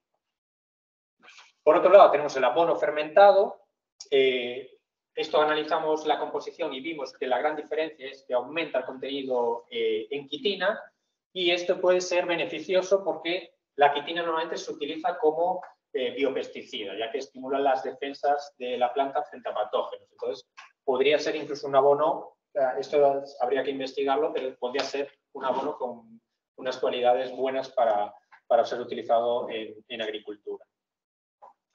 Eh, por otro de los productos, el tercer producto que obtendríamos es el hidrolizado de, proteína. Aquí os pongo, hicimos el mismo ensayo que os hablé antes, de un ensayo de digestión ácida eh, con proteasas eh, y digestión alcalina para simular la digestión en el estómago y. Antes habíamos visto que el grado de hidrólisis de la harina escarabajo estaba en torno al 20%, aquí conseguimos casi un 80% de grado de hidrólisis de, la proteína, por lo que se ve que este hidrolizado de proteína es mucho más fácil de digerir que la eh, proteína de la harina escarabajo. Eh, y por último, el producto final que obtenemos también en este tratamiento de hidrólisis sería la eh, quitina de escarabajo, que ya os mencioné antes, pues tiene todas estas aplicaciones a nivel industrial y también tiene potencial de ser comercializado. Aquí también actualmente ya estamos haciendo ensayos de transformación de esta quitina en, eh, en quitosano. Entonces, en conclusión, en este proyecto de BioProInset, eh, en el que hemos colaborado Ganinset, Feuga y Biotecnia, hemos conseguido eh, estos objetivos, que sería obtener una nueva fuente de proteína a partir de un producto que no, lo no se estaba comercializando, que son los escarabajos, Hemos ayudado a la empresa Galinset a que desarrolle una economía circular eh, eh, en su granja, ya que eh, un subproducto como eran los escarabajos lo estamos aplicando, le estamos dando valor, también el abono de insecto, le estábamos dando valor, entonces prácticamente ahora no se genera, si aprovechando estos subproductos no se generarán residuos en este proceso. Hemos logrado transferir la tecnología desarrollada en el grupo biotecnia, la hemos implantado con eh, éxito, lo hemos probado con éxito en la, la granja Galinset y es posible. Y esto también, eh, esta colaboración ha iniciado eh, nuevas ideas de aprovechamiento de, de los insectos. ya estamos pidiendo nuevos proyectos relacionados con muchos de estos temas que hemos desarrollado en este proyecto de bioprogreso. Entonces, agradeceros a los expertos del proyecto, fuimos eh, eh, José Manuel Domínguez y, yo, agradeceros a los que habéis trabajado directo e indirectamente dentro del proyecto, del grupo, eh, dentro del grupo Biotecnia y, bueno, gracias por, por vuestra atención. Bueno, ahora podemos...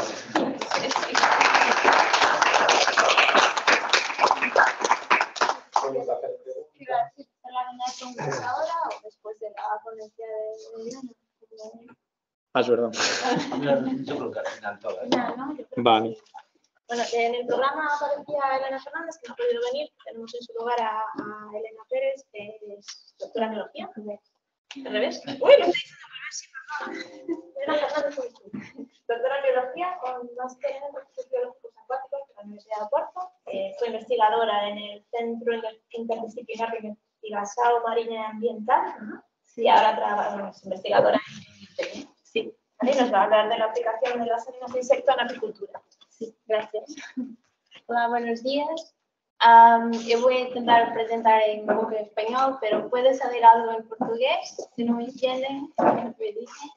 Eh, y voy a hablar de cómo los insectos se pueden mezclar también con el sector acuícola.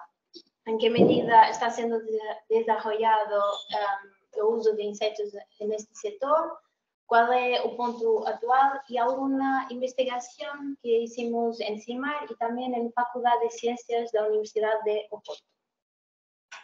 Así, en este contexto es, es importante hablar que esta necesidad de encontrar fuentes alternativas de alimento, no solo para humanos, pero también para los animales. Y en este sentido, los productos del mar tienen una gran importancia. Pero también es necesario entender que el mar tiene, es muy vulnerable a estos cambios climáticos, pero eh, también es muy importante para hacer, em, para hacer algo contra ellos. Y en qué medida podemos mejorar su, eh, su resistencia, pero también garantizar la seguridad eh, alimentaria. Esto es muy importante en el sentido de un crecimiento de la población que se estima que en 2050 atingirá casi 10 mil millones de personas. Y esto va a significar un aumento de producción alimenticia en, eh, en casi 56%. Y es necesario entonces garantizar estos alimentos, pero de una forma sostenible y garantizar o recursos altamente nutricionales, pero también que, que de una forma reduzca el impacto ambiental, porque una mayor producción alimenticia va a tener impacto ambiental seguro. Y en esto el pescado aparece como un superalimento, porque si queremos aumentar la producción alimentar, tenemos que pensar en alimentos que sean altamente nutritivos. Y el pescado y otros organismos del mar son muy importantes, porque son altas fuentes de proteína, de ácidos grasos poliinsaturados, pero también de vitaminas y minerales de alta calidad. Para fornecer este pescado, tanto la pesca como la agricultura son muy importantes y son importantes a nivel de, de- los diferentes organismos que podemos obtener, pero también a nivel de funcionamiento de sociedad, porque, por ejemplo, en pescas con agricultura, casi 60 millones de personas obtienen sus ingresos en todo el mundo. Entonces, no, no es una, una cuestión de seguridad alimentar, pero una seguridad de, de sociedad. Y en específico, el sector acuícola acuícola, ah, tiene una gran importancia y cada vez más porque los stocks marinos salvajes están, están a llegar a su límite y, y no se está consiguiendo captar más eh, pes- pescado de, de fuentes salvajes. Y actualmente la acuicultura ya representa 50% del pescado totalmente consumido en el mundo. Pero en 2030 esto va a crecer 60 hasta el 62%. Entonces, tenemos que garantizar que este sector se desarrolle de una forma sostenible y que consiga ah, producir pescado ah, suficiente para cada vez más personas. Y los organismos mundiales y también europeos están conscientes de esto y entonces creó diferentes estrategias para, para intentar desarrollar un sistema alimentario cada vez más seguro, pero también cada vez más capaz de hacer face a, esto, a estos cambios, de estos eh, crecimientos de población.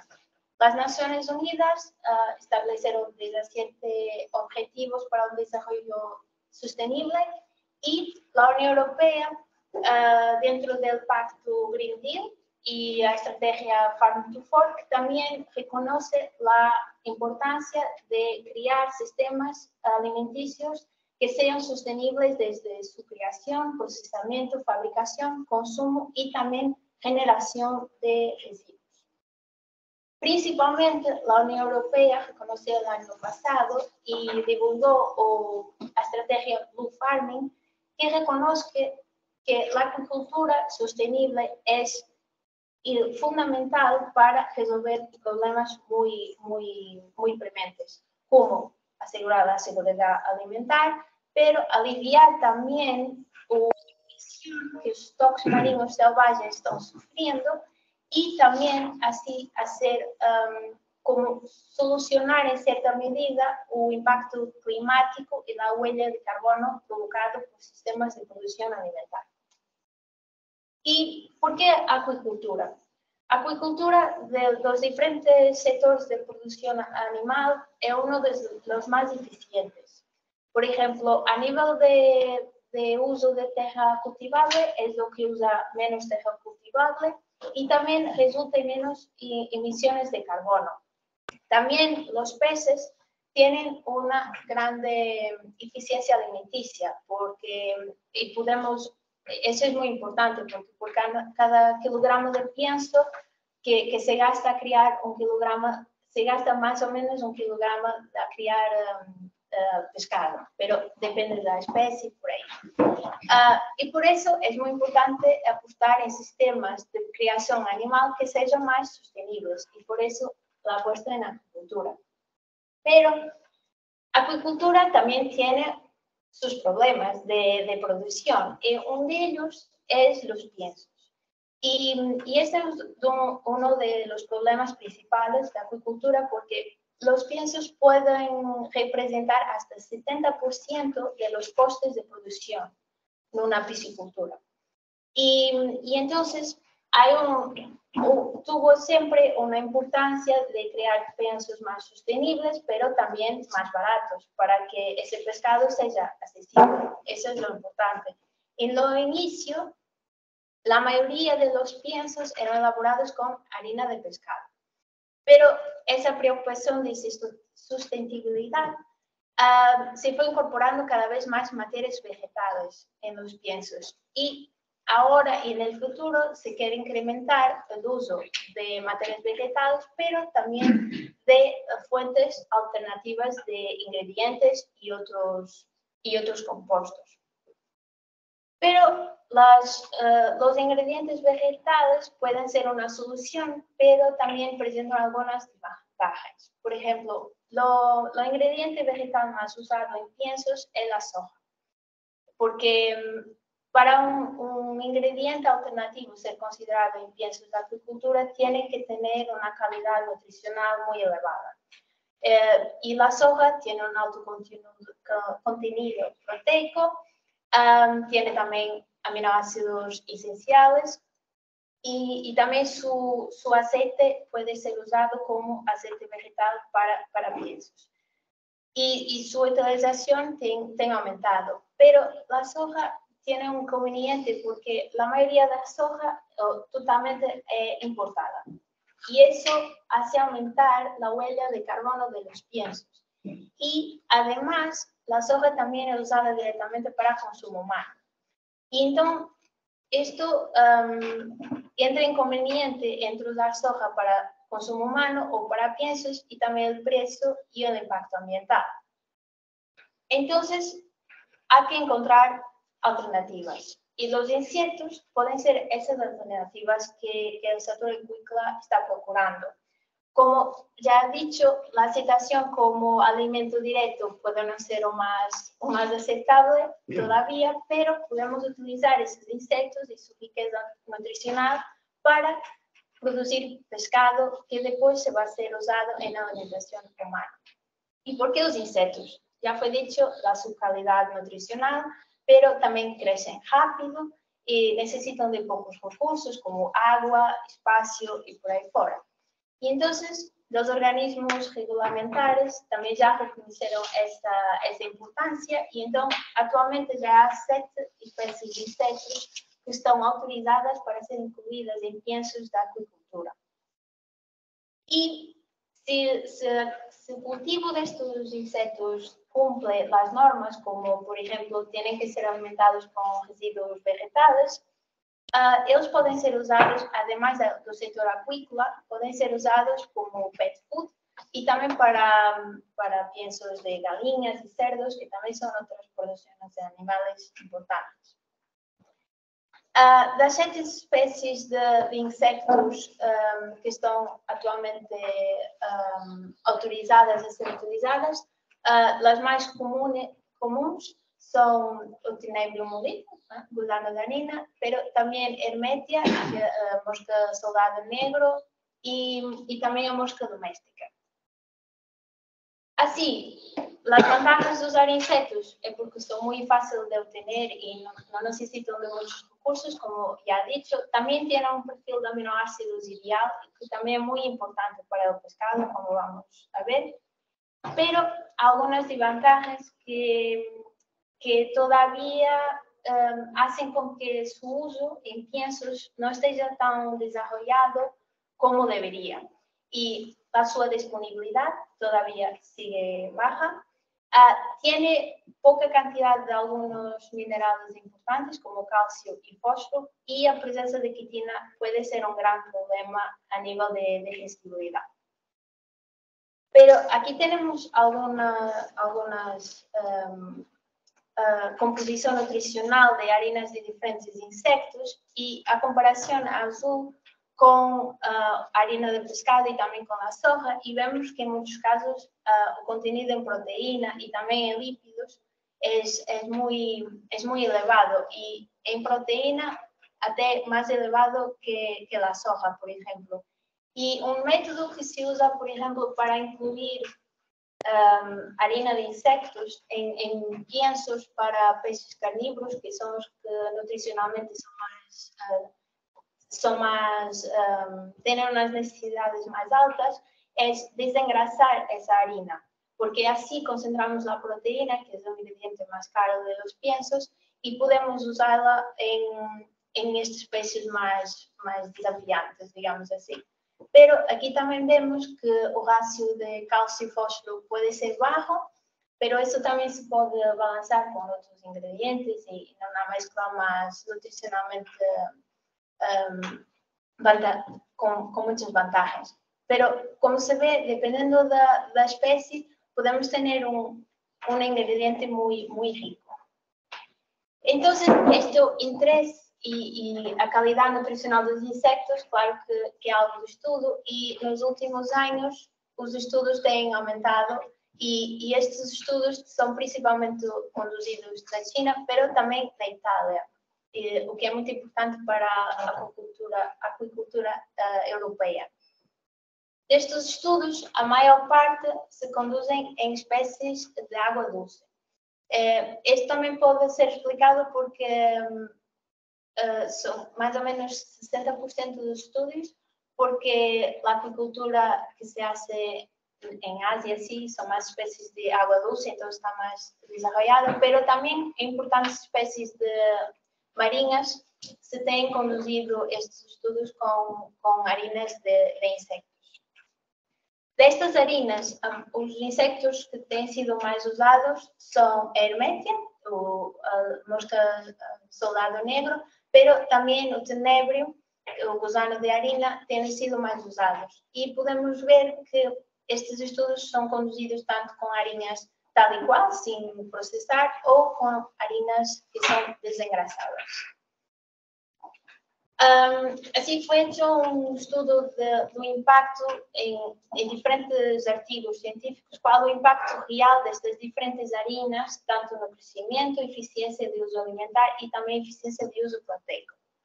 E aqui podemos ver que não houve um impacto significativamente negativo uh, de inclusão destas harinas no crescimento dos peixes. Pero em muitos casos não há um, um impacto de crescimento, o que também pode ser bueno, porque assim sim, podemos garantizar o crescimento que se obtém, que já está optimizado no setor acuícola, e, e também uh, garantizar que assim usamos um, um alimento que que, que, que, nos evita de usar outras fontes menos sostenibles. Pero Outro parâmetro muito importante neste setor é a eficiência de uso alimentício, que, que nos indica se conseguimos uh, maximizar o uso desse pienso para um crescimento ótimo. E também vemos que a inclusão de harina uh, não afeta significativamente um, o, a utilização dos piensos e, em alguns casos, hasta melhora. Pero seria de esperar uh, resultados assim muito, muito impactantes e que foram uh, super positivos. Pero também temos que ver que em, em estes estudos estamos muitas vezes a, a, comparar harina de insecto, sem processar muitas vezes, com harina de pescado, que é o alimento, que é o ingrediente ótimo em estes pesos, e também com os melhores uh, ingredientes vegetais e que já estão muito estudados e seu aproveitamento já está maximizado.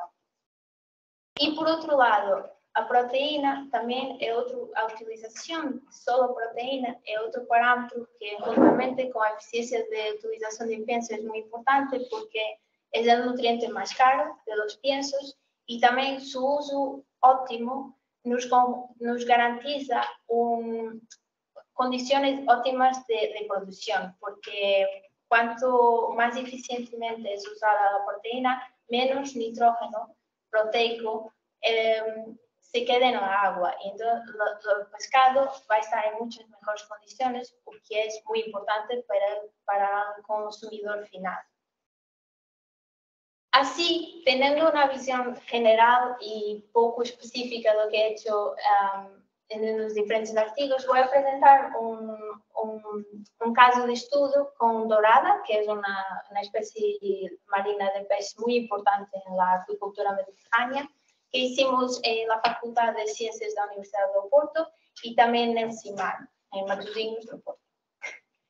Uh, y así, esto, estos estudios fueron conducidos con harina de larva de metia uh, desengrasada, y, empezamos por un estudio de digestibilidad en esta especie. Incluimos harina de metia a 15, 30 y 45%, sustituyendo harina de pescado en el pienso. Y vimos que no hubo un efecto en la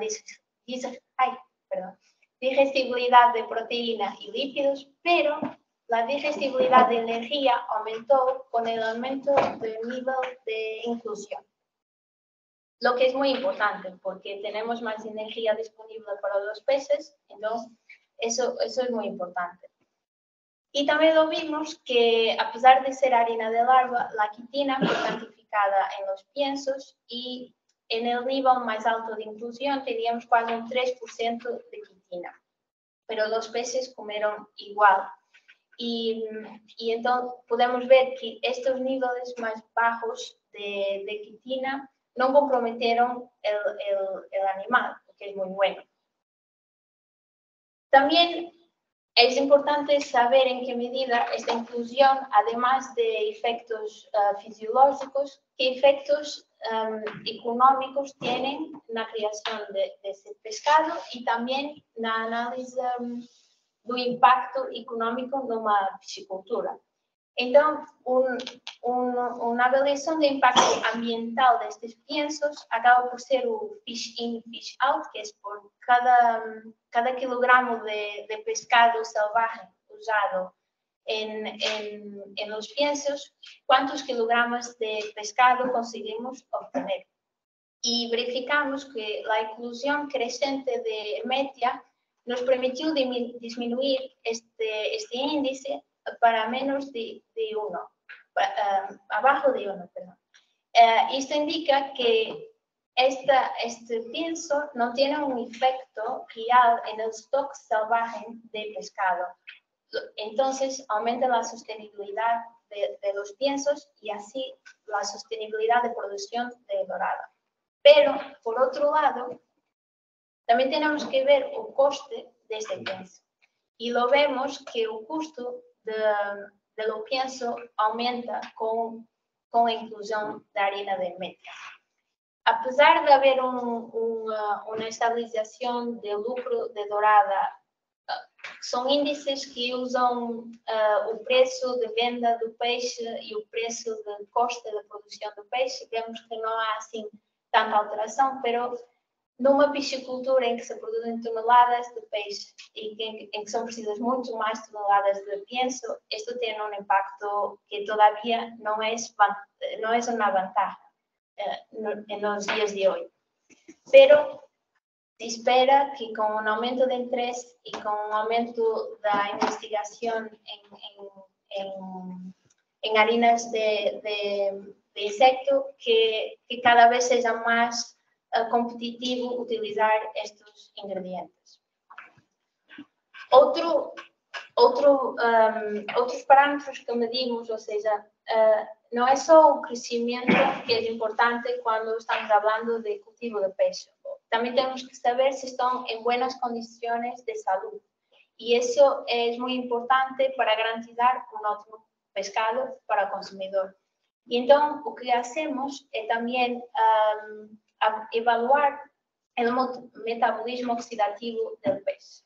E então, avaliamos a atividade de diferentes enzimas que atuam para manter um, um estado oxidativo regular, ou seja, que permitem ao peixe ter um metabolismo que está capaz de, hacer, de lutar contra uh, cambios de estresse. Então, se houver cambios em, na atividade destas enzimas, que nos indicam, se, houver esses cambios, nos indicam se, por exemplo, o pienso que estamos a dar aos peixes, se, é um fator de estresse. Pero observamos que não houve um cambio uh, na atividade dessas enzimas. Então, eles toleram, uh, aceitam bem este, estes piensos e que não lhes afeta em, em seu metabolismo. Además, outro parâmetro importante é a peroxidação lipídica y medimos porque mm, la peroxidación hace con que los ácidos grasos sean oxidados más rápido. Entonces, cuando damos materias uh, nuevas aos, aos peces, queremos saber si existe una peroxidación más, mm, más elevada o menos en órganos importantes como uh, intestino, hígado y también el filete del pez. E, e aqui verificamos que não houve uma alteração um, nessa peroxidação lipídica no hígado. Então, isso nos indica também que esse órgão vital uh, mantém seu bom uh, funcionamento. E, e isto pode ser explicado porque los, pez, los piensos de peces también es importante um, tener compuestos que se bioactivos, o sea, que los que además de nutrición, también precisamos que haya, que haga, no sé, uh, que haga um, compostos que, que, los permiten hacer, um, de quedar más fuertes y más resistentes. Y como ya fue dicho, la quitina tiene un, un papel importante, puede, puede tener diferentes funciones. Y entonces, como los piensos presentaban un nivel de quitina uh, de casi 3%, esa quitina puede ter um, hecho, ou os derivados da quitina, podem uh, tornar o pescado mais resistente um, aos cambios tanto de pienso como de condições abióticas da água. E isso também ajuda. Pero, además de las harinas, os aceites de insecto também podem ser considerados e também são muito importantes. Um, numa perspectiva do setor aquícola, Uh, lo aceite más usado es aceite de pescado porque por las mismas razones de, de, la harina de pescado tiene en su composición ácidos grasos poliinsaturados y que son especialmente importantes en peces marinos y carnívoros. Y, pero lo que pasa con la harina de pescado, que no es sostenible, le pasa también con el aceite de pescado. Entonces, um, los ciclos es lo mismo Então se tenta usar um, aceites vegetais. Pero estos são ricos em ômega 6, pero não em ômega 3, que, que especialmente importantes para peixes marinhos, que não conseguem converter estes ácidos grasos. E também las mismas razones de, de, de, los ingredientes vegetales competen por consumo humano, requieren muchos recursos y también tienen una huella de carbono muy larga.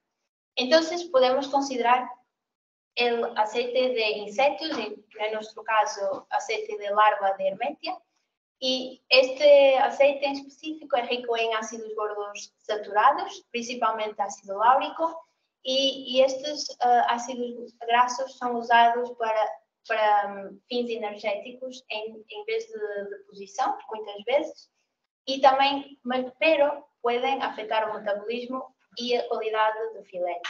E então, quisemos saber se de facto um, podem ser uma vantagem ou não incluir estes azeites em, em piensos de, de dourada. E aqui evaluamos o perfil e de facto ácido láurico é o, o, mais, o presente em maior, maior quantidade, pero también tiene alguna cantidad de ácidos grasos poliinsaturados muy, muy importantes, como uh, ácido linolénico y linoleico, y esos son importantes para consumo humano. Y así uh, evaluamos el crecimiento uh, de doradas alimentadas con niveles crecientes de, de aceite de insecto y sustituyendo aceites vegetales en el pienso hasta 100%.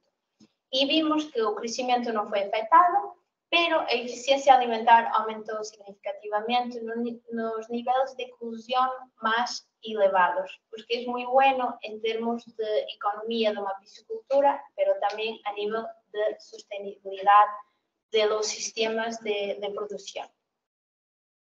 A digestibilidade tamén foi evaluada e vimos que, máis unha vez, non afectou a digestibilidade de proteína e lípidos, pero aumentou a digestibilidade de energía uh, e que esta, este aumento de digestibilidade foi muito debido porque o ácido láurico, máis de 90% do ácido láurico foi digerido por la dorada e eh, no conjunto de ácidos grasos saturados uh, su digestibilidad también aumentó en todos los piensos con, con aceite de, de, insecto.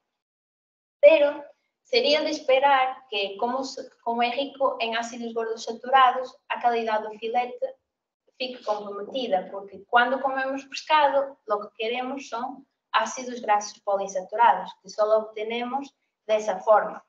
Então, evaluar a qualidade do filete em termos de composição de ácidos grasos es una, fue un objetivo.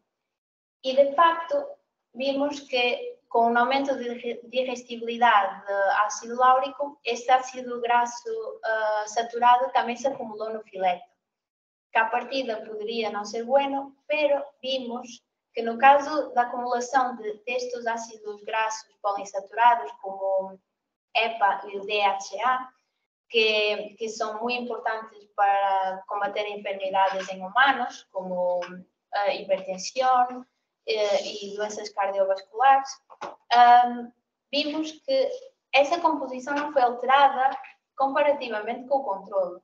Então, nós conseguimos obter um filete de qualidade similar, sem comprometer uh, a sustentabilidade dos piensos usados em agricultura.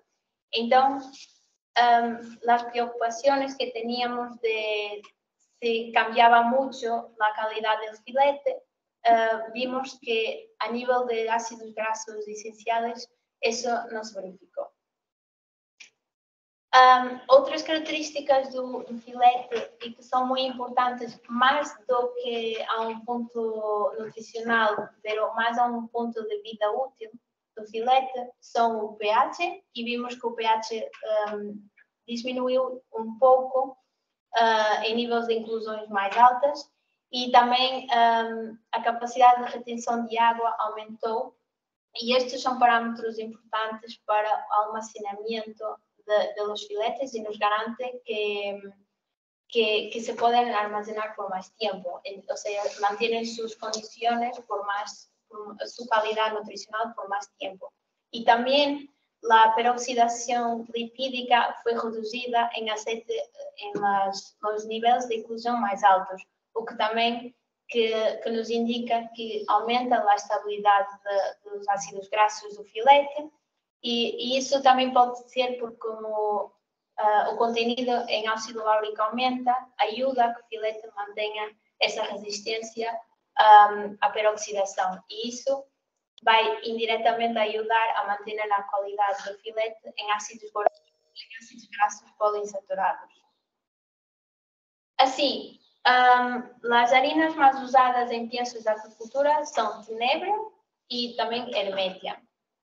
E por, por la revisión de diferentes resultados, pero también los resultados que obtivemos uh, nestas experiencias, vimos que é possível incluir estas harinas e estes aceites a níveis de inclusões uh, bastante elevados até. Pero é preciso terem atenção que, que os níveis de inclusões, principalmente das harinas, uh, têm sempre algo associado, que é a quitina. E por isso projetos como o BioProInsect são importantes porque nos Neste caso, uh, no, no, nosso trabalho, foi uma inclusão hasta 3% de quitina. Não é muito, mas se falamos de, de inclusões mais grandes, essa quitina vai aumentar. E em vez de ter este efeito benéfico de proteção do organismo, pode retardar o crescimento e até prejudicar uh, a saúde do peixe. Isso tem que ser considerado. Um, ademais, vimos que a qualidade do filete se mantiene y, y, y, su calidad de tiempo de vida útil uh, es mejorada, o que, son, que es muy importante a nivel uh, industrial. Y también a nivel de digestibilidad, si, ten, si, tenemos una mayor digestibilidad de energía, por ejemplo, uh, aseguramos que el pescado está en buenas condiciones y que usa esos nutrientes para crecer que, y más eficientemente para tener energía. Y entonces eso también es muy importante a un nivel de, de, de producción. Pero es preciso tener en, en, en, en, en mente que el desarrollo sostenible de la agricultura pasa por tener estos ingredientes y estos aceites alternativos. Y uh, al día de hoy no hay ninguno, ninguna harina vegetal que se pueda comparar a la harina de insecto en términos de calidad nutricional. Entonces, es importante desarrollar esta, esta investigación y lo único que, que, que, que continúa un aspecto negativo en la industria de los insectos y que no está más desarrollado en el sector acuícola es el precio de estos ingredientes y de estos aceites, porque la producción todavía no está desarrollada en muchos sitios y entonces continúa siendo más caro producir harina de insecto para estos, um, para estos piensos do que harina de pescado o harina de soja, e importar harina de soja. Entonces, es importante y también otra cuestión es como uh, el sector de insectos, de producción de insectos, um, tiene estos problemas de, también uh, los residuos de adultos e, de, e também de, do, do abono, uh, o setor acuícola, uh, a sua necessidade vai além de, de los ingredientes e de los aceites. Também necessita de compostos bioactivos que adaptam melhor o organismo e que lhe permitem crescer, pero de uma forma saudável e mantendo condições uh, nutricionais de filete. Então, Si estos compuestos como quitosano y estas enzimas que también son obtenidas pueden ser usadas en el sector acuícola y garantizar un buen desarrollo um, tanto de la industria acuícola como de la producción de insectos. Gracias.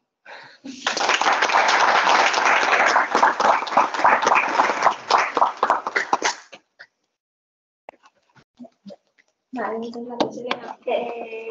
Para la última de las ponencias, entonces podemos abrir una ronda de preguntas eh, para la parte online. Si queréis, las podéis escribir en el chat, que sería más fácil, y, vamos recogiendo y, comentando. Y como los que estáis aquí, pues, a viva voz.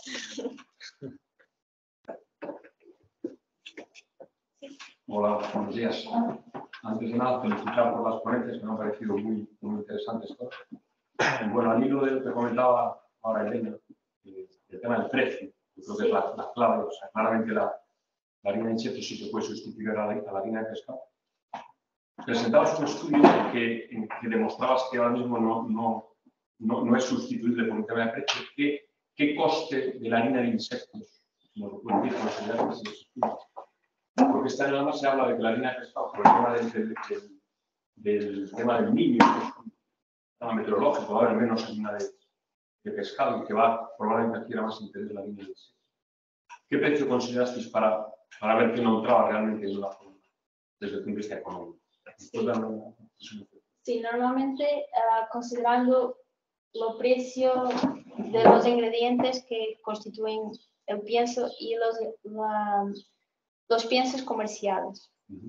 Y, y el precio fue que esta, esto, estas harinas fueron obtenidas de, de Italia Ujú. y, y entonces es más, um, la harina de pescado todavía sigue más, con precio más, más bajo de que, lo que las harinas de, de, perdón, de insectos. Eh, y los precios, por ejemplo, um, la soja, que otro también muy, muy, muy incluido, um, en este momento cerca de 25 kilos, son más o menos 15 euros. Y entonces todavía no se consegue competir con un mercado que está establecido hoy en día. Ah, yo, de facto, no tengo información de cuánto fue esta, esta harina de insecto, pero comparativamente con los, los otros piensos que, que se producen, sería mu- mucho más cara. Sí.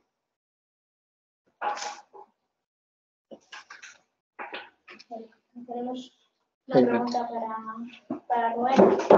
Eh, algunos de vuestros lotes tienen como objetivo revalorizar ciertos residuos como el plástico. ¿Qué destino le dais a esos insectos alimentados con plástico? Eh, ninguno. O sea, no, los insectos que se alimentan con, con residuos, igual que sean residuos de origen alimentario que, que otro tipo de origen, eh, no pueden ser utilizados prácticamente para ningún tipo de alimentación, sí que pueden ser utilizados con fines industriales. Por lo tanto, eh, insectos alimentados con plástico, bueno, nosotros ya validamos que no es, eh, no es eficiente este tipo de alimentación. Es interesante investigar lo que es el, el sistema digestivo del insecto eh, de cara a poder desarrollar, pues a lo mejor un proceso industrial que permita eh, reciclar este tipo de plásticos, pero lo que es eh, los insectos alimentados con plásticos, el único fin que podrían tener es con, con fines pues, industriales. No, nunca, nunca pueden ser incorporados a, a la cadena de alimentación.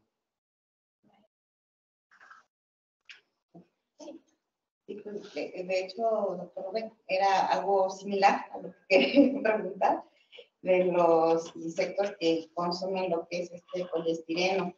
¿En qué eh, estado de crecimiento es que ustedes observaron? Porque hay diferentes estados, ¿no? O sea, ya sería eh, la edad del, del insecto ya este, adulto, es el que consume, o hay alguna diferencia entre alguna etapa Sí. de- del consumo de estos bioplastos, de estos plásticos.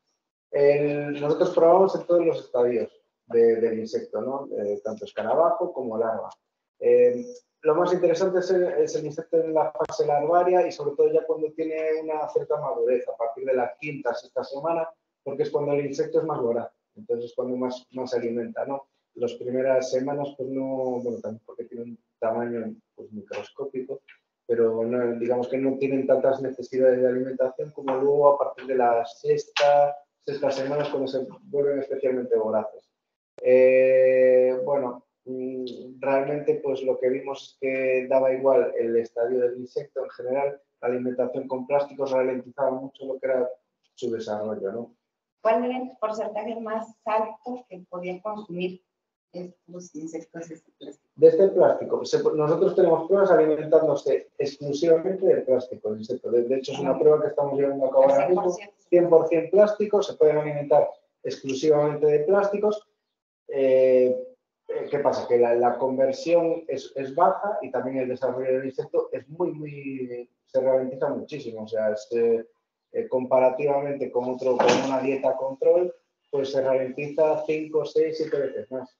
Pero se podría utilizar para degradación de este tipo de Pues, eh, o sea, implementar, o sea, desarrollar eh, este tipo de tecnología eh, mediante, o sea, digamos que reciclar el, el plástico mediante los insectos o sea, no, no, realmente a nivel industrial no es viable, porque para consumir una pequeña cantidad de, de este tipo de, de, plásticos se necesitarían toneladas de insectos y no, no tendría sentido. Como es un insecto que prácticamente luego su uso pues, eh, está muy acotado a determinados, a determinados usos industriales. Entonces, eh, nosotros vemos que es interesante esta línea de investigación, pero no para desarrollar un sistema de producción en el que, en el, que el insecto se alimente del plástico, sino en estudiar el insecto, su sistema digestivo, la microbiota, las distintas bacterias que componen el, el, sistema digestivo del insecto y poder desarrollar a partir de ahí pues, una aplicación industrial. Y, bueno, y tengo otra pregunta para Elena. Sí. ¿Sí?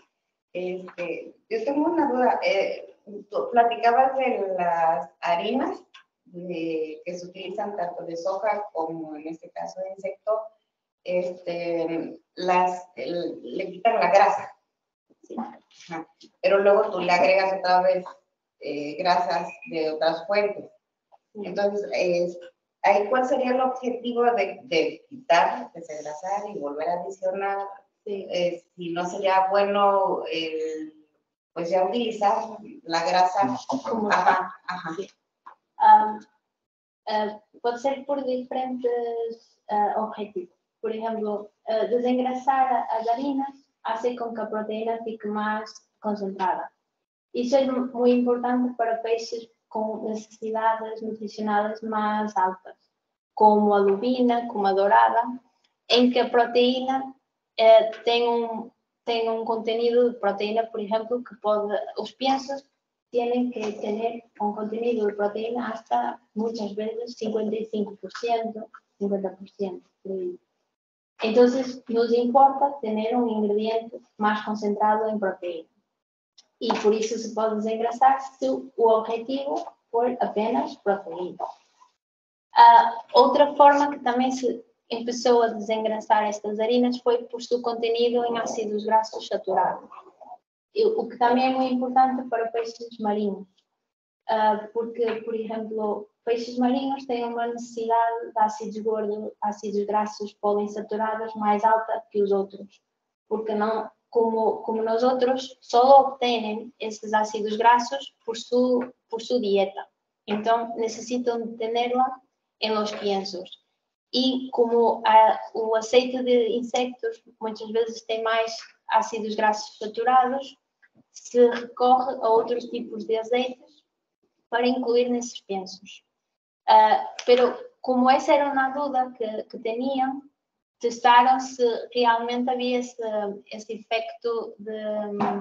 Porque, por exemplo, eu não sei se estou a ser muito clara, pero o efeito do pienso vai ter impacto na qualidade do filete seguro. Então, se temos um azeite mais rico em ácidos graxos saturados, o filete vai ser mais rico em ácidos graxos saturados. Pero nós outros queremos, tal como peixes marinhos, queremos um, comer uh, um peixe com ácidos graxos poliinsaturados. Então, havia essa dúvida se estes azeites de insectos, se o perfil lipídico iria afetar negativamente a qualidade do filete. Então, esse desengraçamento das harinas foi tanto para concentrar a proteína, como também para evitar que houvesse esse impacto uh, menos favorável de ácidos graxos saturados. Então, sim, agora se vê que se pode usar também uh, a harina uh, sem, sem processar, que também é vantajoso, mas também depende da, da espécie de pescado que queremos cultivar, as suas necessidades nutricionais. Um, o, o melhor sempre, em qualquer processo, tanto de pescado como biotecnológico, é quanto menos processamento, melhor. Então, se pudermos usar uma harina que, que seja usada sem, sem desengraçar, ótimo pero também podemos, um, se o nosso objetivo for um, uh, concentrar a proteína, quitar essa graça e usá-la também ou para outros ou para outras espécies de pescado. Tudo depende muito de, do objetivo no setor aquícola, da espécie, do hábito alimentar do, do pescado. Isso tudo influi no processamento ou não destes ingredientes. Y la, la edad del pez, del pez este, también Sí. o sea, tiene que ver con lo que es la alimentación. Normalmente, de- o, ajá, ¿en qué momento, es, en, en qué fase de, de son- le dan el, el alimento? juvenis. Oh. Juvenis, sim, porque têm uma taxa de crescimento ah, mais grande. Um peixe já adulto ahm, não vai usar o pienso para crescer, mas para depositar ahm, em, su, em su filete. Então, ¿En, en tiempo cuánto sería en, en días, meses, eh, estes resultados em três meses. tres meses? Sim, sim. Um triplicar de, de piel. Sim. Eh, muchas felicidades a, a todos. El proyecto es muy bonito y pues este es muy interesante. Gracias. Pregunta por el chat Mónica Benavides, que si las pupas tienen mayor cantidad de proteínas y grasas, ¿por qué no se usan en vez de las larvas? Con el tema de las pupas es que realmente eh, no está legislado, por así decirlo. O sea, la, la Comisión Europea lo que permite es la comercialización de la larva, pero no de las pupas ni de los escarabajos para consumo alimentario. De momento, aunque bueno, tampoco son muy claros, la verdad, a la hora de... De hecho, nosotros hicimos alguna consulta a, a Ministerio, Asunta, y bueno, en general eh, hay digamos que la administración está muy despistada a este, a este respecto, ¿no? Entonces, bueno, sí, eh, la pupa podría ser un, producto muy interesante a, a utilizar también, eh, eso desde luego. Entonces, La sí legislación de productos nuevos siempre es complicada. pues claro, por eso. Pero bueno, sí, sí es algo que contemplamos, claro. Bueno, de igual manera me, me uno a las felicitaciones, las presentaciones muy, muy interesantes, ¿no? Pero pues te- tenemos dudas también. Eh, ahorita que escuché todas las, todas las pláticas, me, hizo recordar un poquito una película de Charles Heston, cuando el destino nos alcance. Yo creo que ya nos alcanzó. Este, la pregunta, para quien pueda responderla eh, o quiera responderla, eh, hablan de, de usar este, la harina de, de- de- en este caso de la larva. ¿Por qué no combinarla también? ¿O por qué no usar también proteína unicelular? De hecho, crece más rápido. En, en horas eh, pues, podemos ver que ya alcanza su, eh, la fase exponencial de crecimiento. este, ¿Por qué no combinarla con proteína unicelular? El objetivo del proyecto era sobre todo extraer la proteína de, de los insectos que no eran aprovechados como, como alimento. De proteína unicelular, la verdad, no, no tenemos. Mi, pregunta va un poquito orientada en este sentido, ¿no? Este, por ejemplo, eh, ha- habla para alimentación animal, este, humana. eh, ahorita yo sé que es un poquito prematuro hablar de rendimientos, ¿no? Pero, ¿cuánto se necesitaría para, por ejemplo, pensando en un ganado vacuno? Una, una cabeza de- de- de ganado, ¿cuánto consumiría? y cuánto tardarían en producir ese, ese volumen. Claro, depende mucho de la especie animal. Bueno, en este caso, o sea, me enfoqué nada más en, en el, en el vacuno, este, alimentar un ganado de, de, de, de- esa envergadura, cuánto se necesita y cuánto se necesita para mantenerlo hasta su fase eh, productiva mayor. Este, Claro. Vuelvo a repetir, yo creo que la pregunta es un poquito difícil en el sentido de los rendimientos. Yo sé que no han llegado a esa etapa, pero aún hablar de un, de un, de un estudio de factibilidad económica, ¿es rentable o no rentable? Yo sé que es una pregunta muy difícil, pero ¿podrían tener una proyección? De- Desde luego, o sea, el- no es un producto competitivo, si va dirigido a, una, mm, digamos, a un mercado de commodities, por así decirlo. O sea, este tipo de producto, la- las harinas de insectos, sobre todo la parte proteica, etcétera, pues a día de hoy no es competitiva, desde luego, con prácticamente con ninguna otra proteína, ni con la ni con la proteína de pescado, ni con las harinas de pescado, con las hojas desde luego que no, realmente no sabemos si, si podrá llegar a serlo en, en un futuro. Yo tengo mis dudas, de hecho. O sea, no- nosotros realmente el, el proyecto BioPolis eh, va muy enfocado, pues, sobre todo, pues eso, a valorizar eh, determinados componentes de la harina de, de los insectos, ¿no? Precisamente porque vemos que, que, que se pueden extraer pues, pro- productos de alto valor eh, a partir de estas harinas. No está, claro, nosotros que realmente no le vemos a día de hoy sentido a producciones industriales, de a una ganadería de insectos para ser proveedores de otro tipo de ganadería. Es, es, mm, no es eficiente, o sea, no- a día de hoy no tiene sentido. Mm, Salvo que se utilice 100% de, de residuos y subproductos, y, y claro, y para, para eso necesitas pues grandes fuentes de residuos y subproductos. Eh, es bastante complejo eh, ser competitivo en precio eh, en ese sentido. Por eso nosotros, el objetivo del proyecto pues, es precisamente pues, desarrollar otro tipo de Sí, productos. eh, crear una nueva alternativa, pero estaría interesante este, visualizar, porque al final de cuentas, pues vi las noticias. Claro. En estos días he estado viendo las noticias que pues, el agua se está reduciendo, el agua se está reduciendo y si se reduce el agua, mu- muchas, este, muchas cadenas de, de alimentos se, se van a reducir también y al final de cuentas también es voltear a ver este tipo de alternativa, que es muy interesante. Probablemente en un futuro, bah, nadie sabe qué, qué va a ser el futuro, a lo mejor se encarece más una línea de proteína por lo mismo, la falta de la, la escasez de agua, Sí, sí. se puede voltear a ver este tipo de alternativas, pero en realidad muy interesante la, la, propuesta.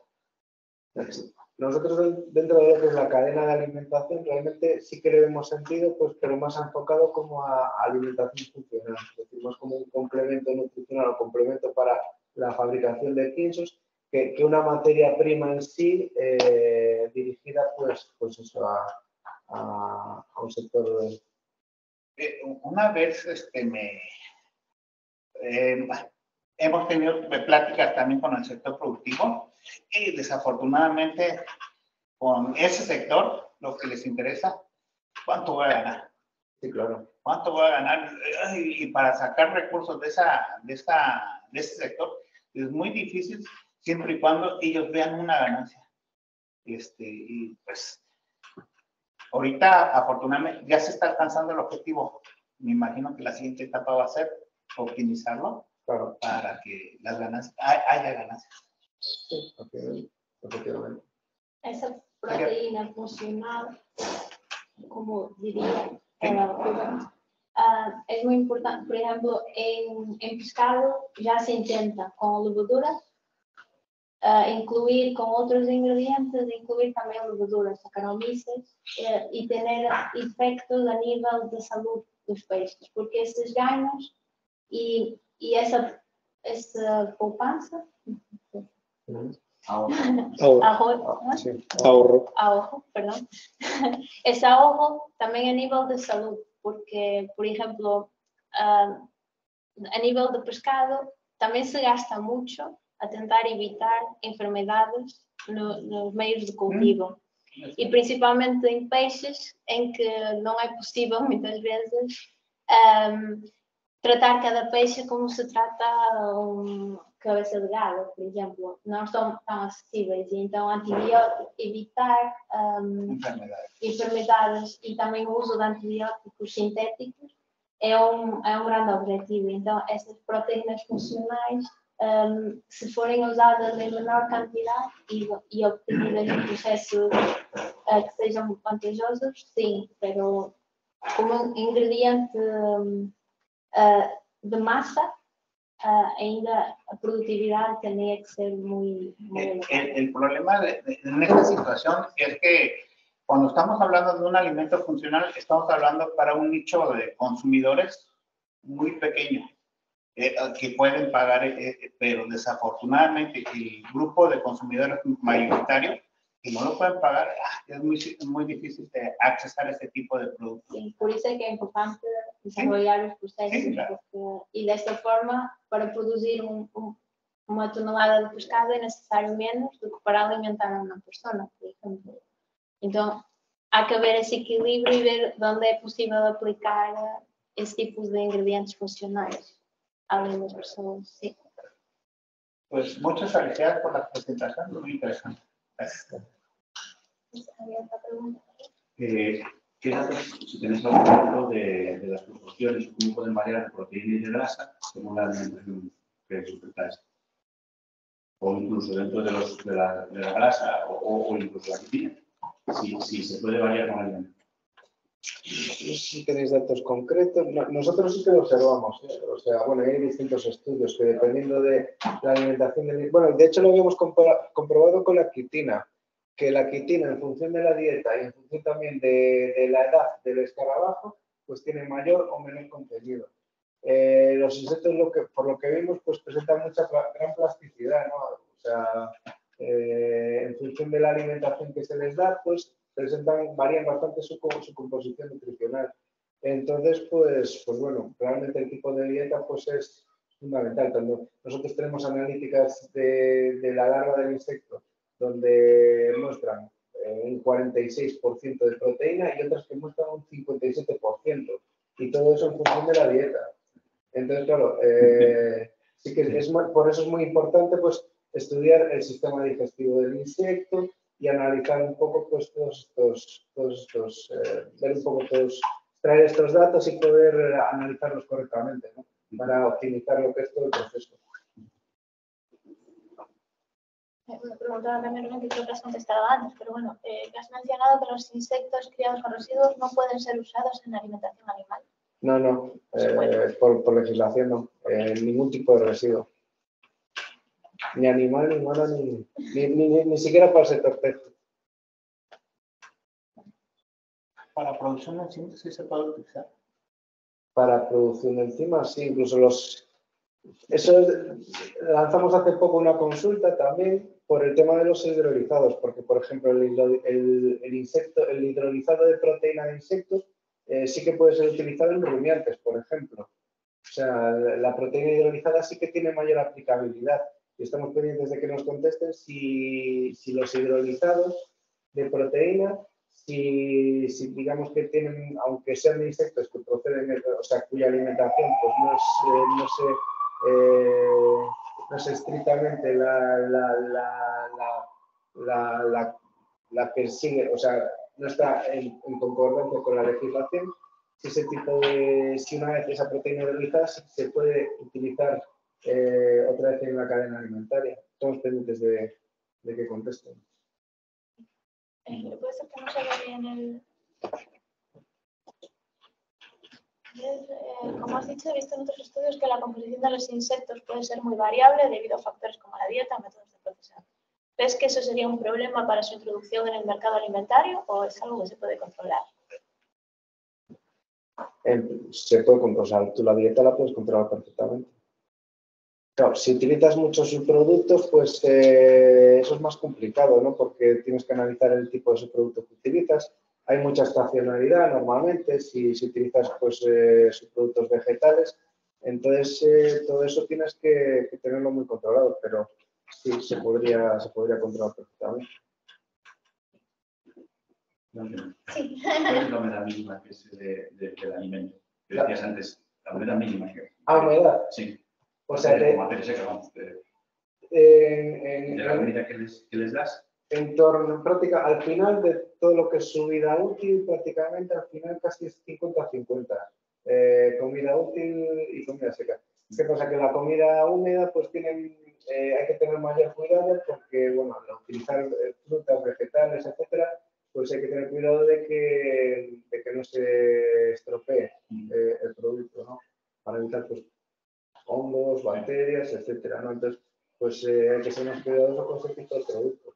Pero, pero al final de lo que es, o sea, para tener un kilo de insectos, pues necesitas la misma cantidad de, prácticamente de, de cereal, por así decirlo, como, como también de alimento húmedo.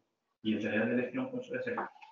El que más se utiliza a nivel industrial es la, el salvado de trigo, pero normalmente es una mezcla de, de distintas, de distintas harinas, salvado de trigo, avena, soja, se utiliza, se utiliza. Vale, no sé si hay más preguntas. Entiendo que no. Eh, pues nada, agradecer a, a todos los ponentes eh, la información que nos ha dado. El, esto da por finalizado el proyecto prácticamente, ya, ya está terminado. Así que bueno, vamos a finalizar la parte online de la jornada. Eh, muchas gracias por asistir a todos. Y en la parte presencial, bueno, tenemos ahora preparado ahí un pequeño tentempié, un café con un poco de pica de trigo, eso de día, unos bocadillitos, algo de fruta. Bueno, y después eh, nos van a hacer una visita por, la, por los laboratorios de la universidad. ¿vale? Gracias a todos.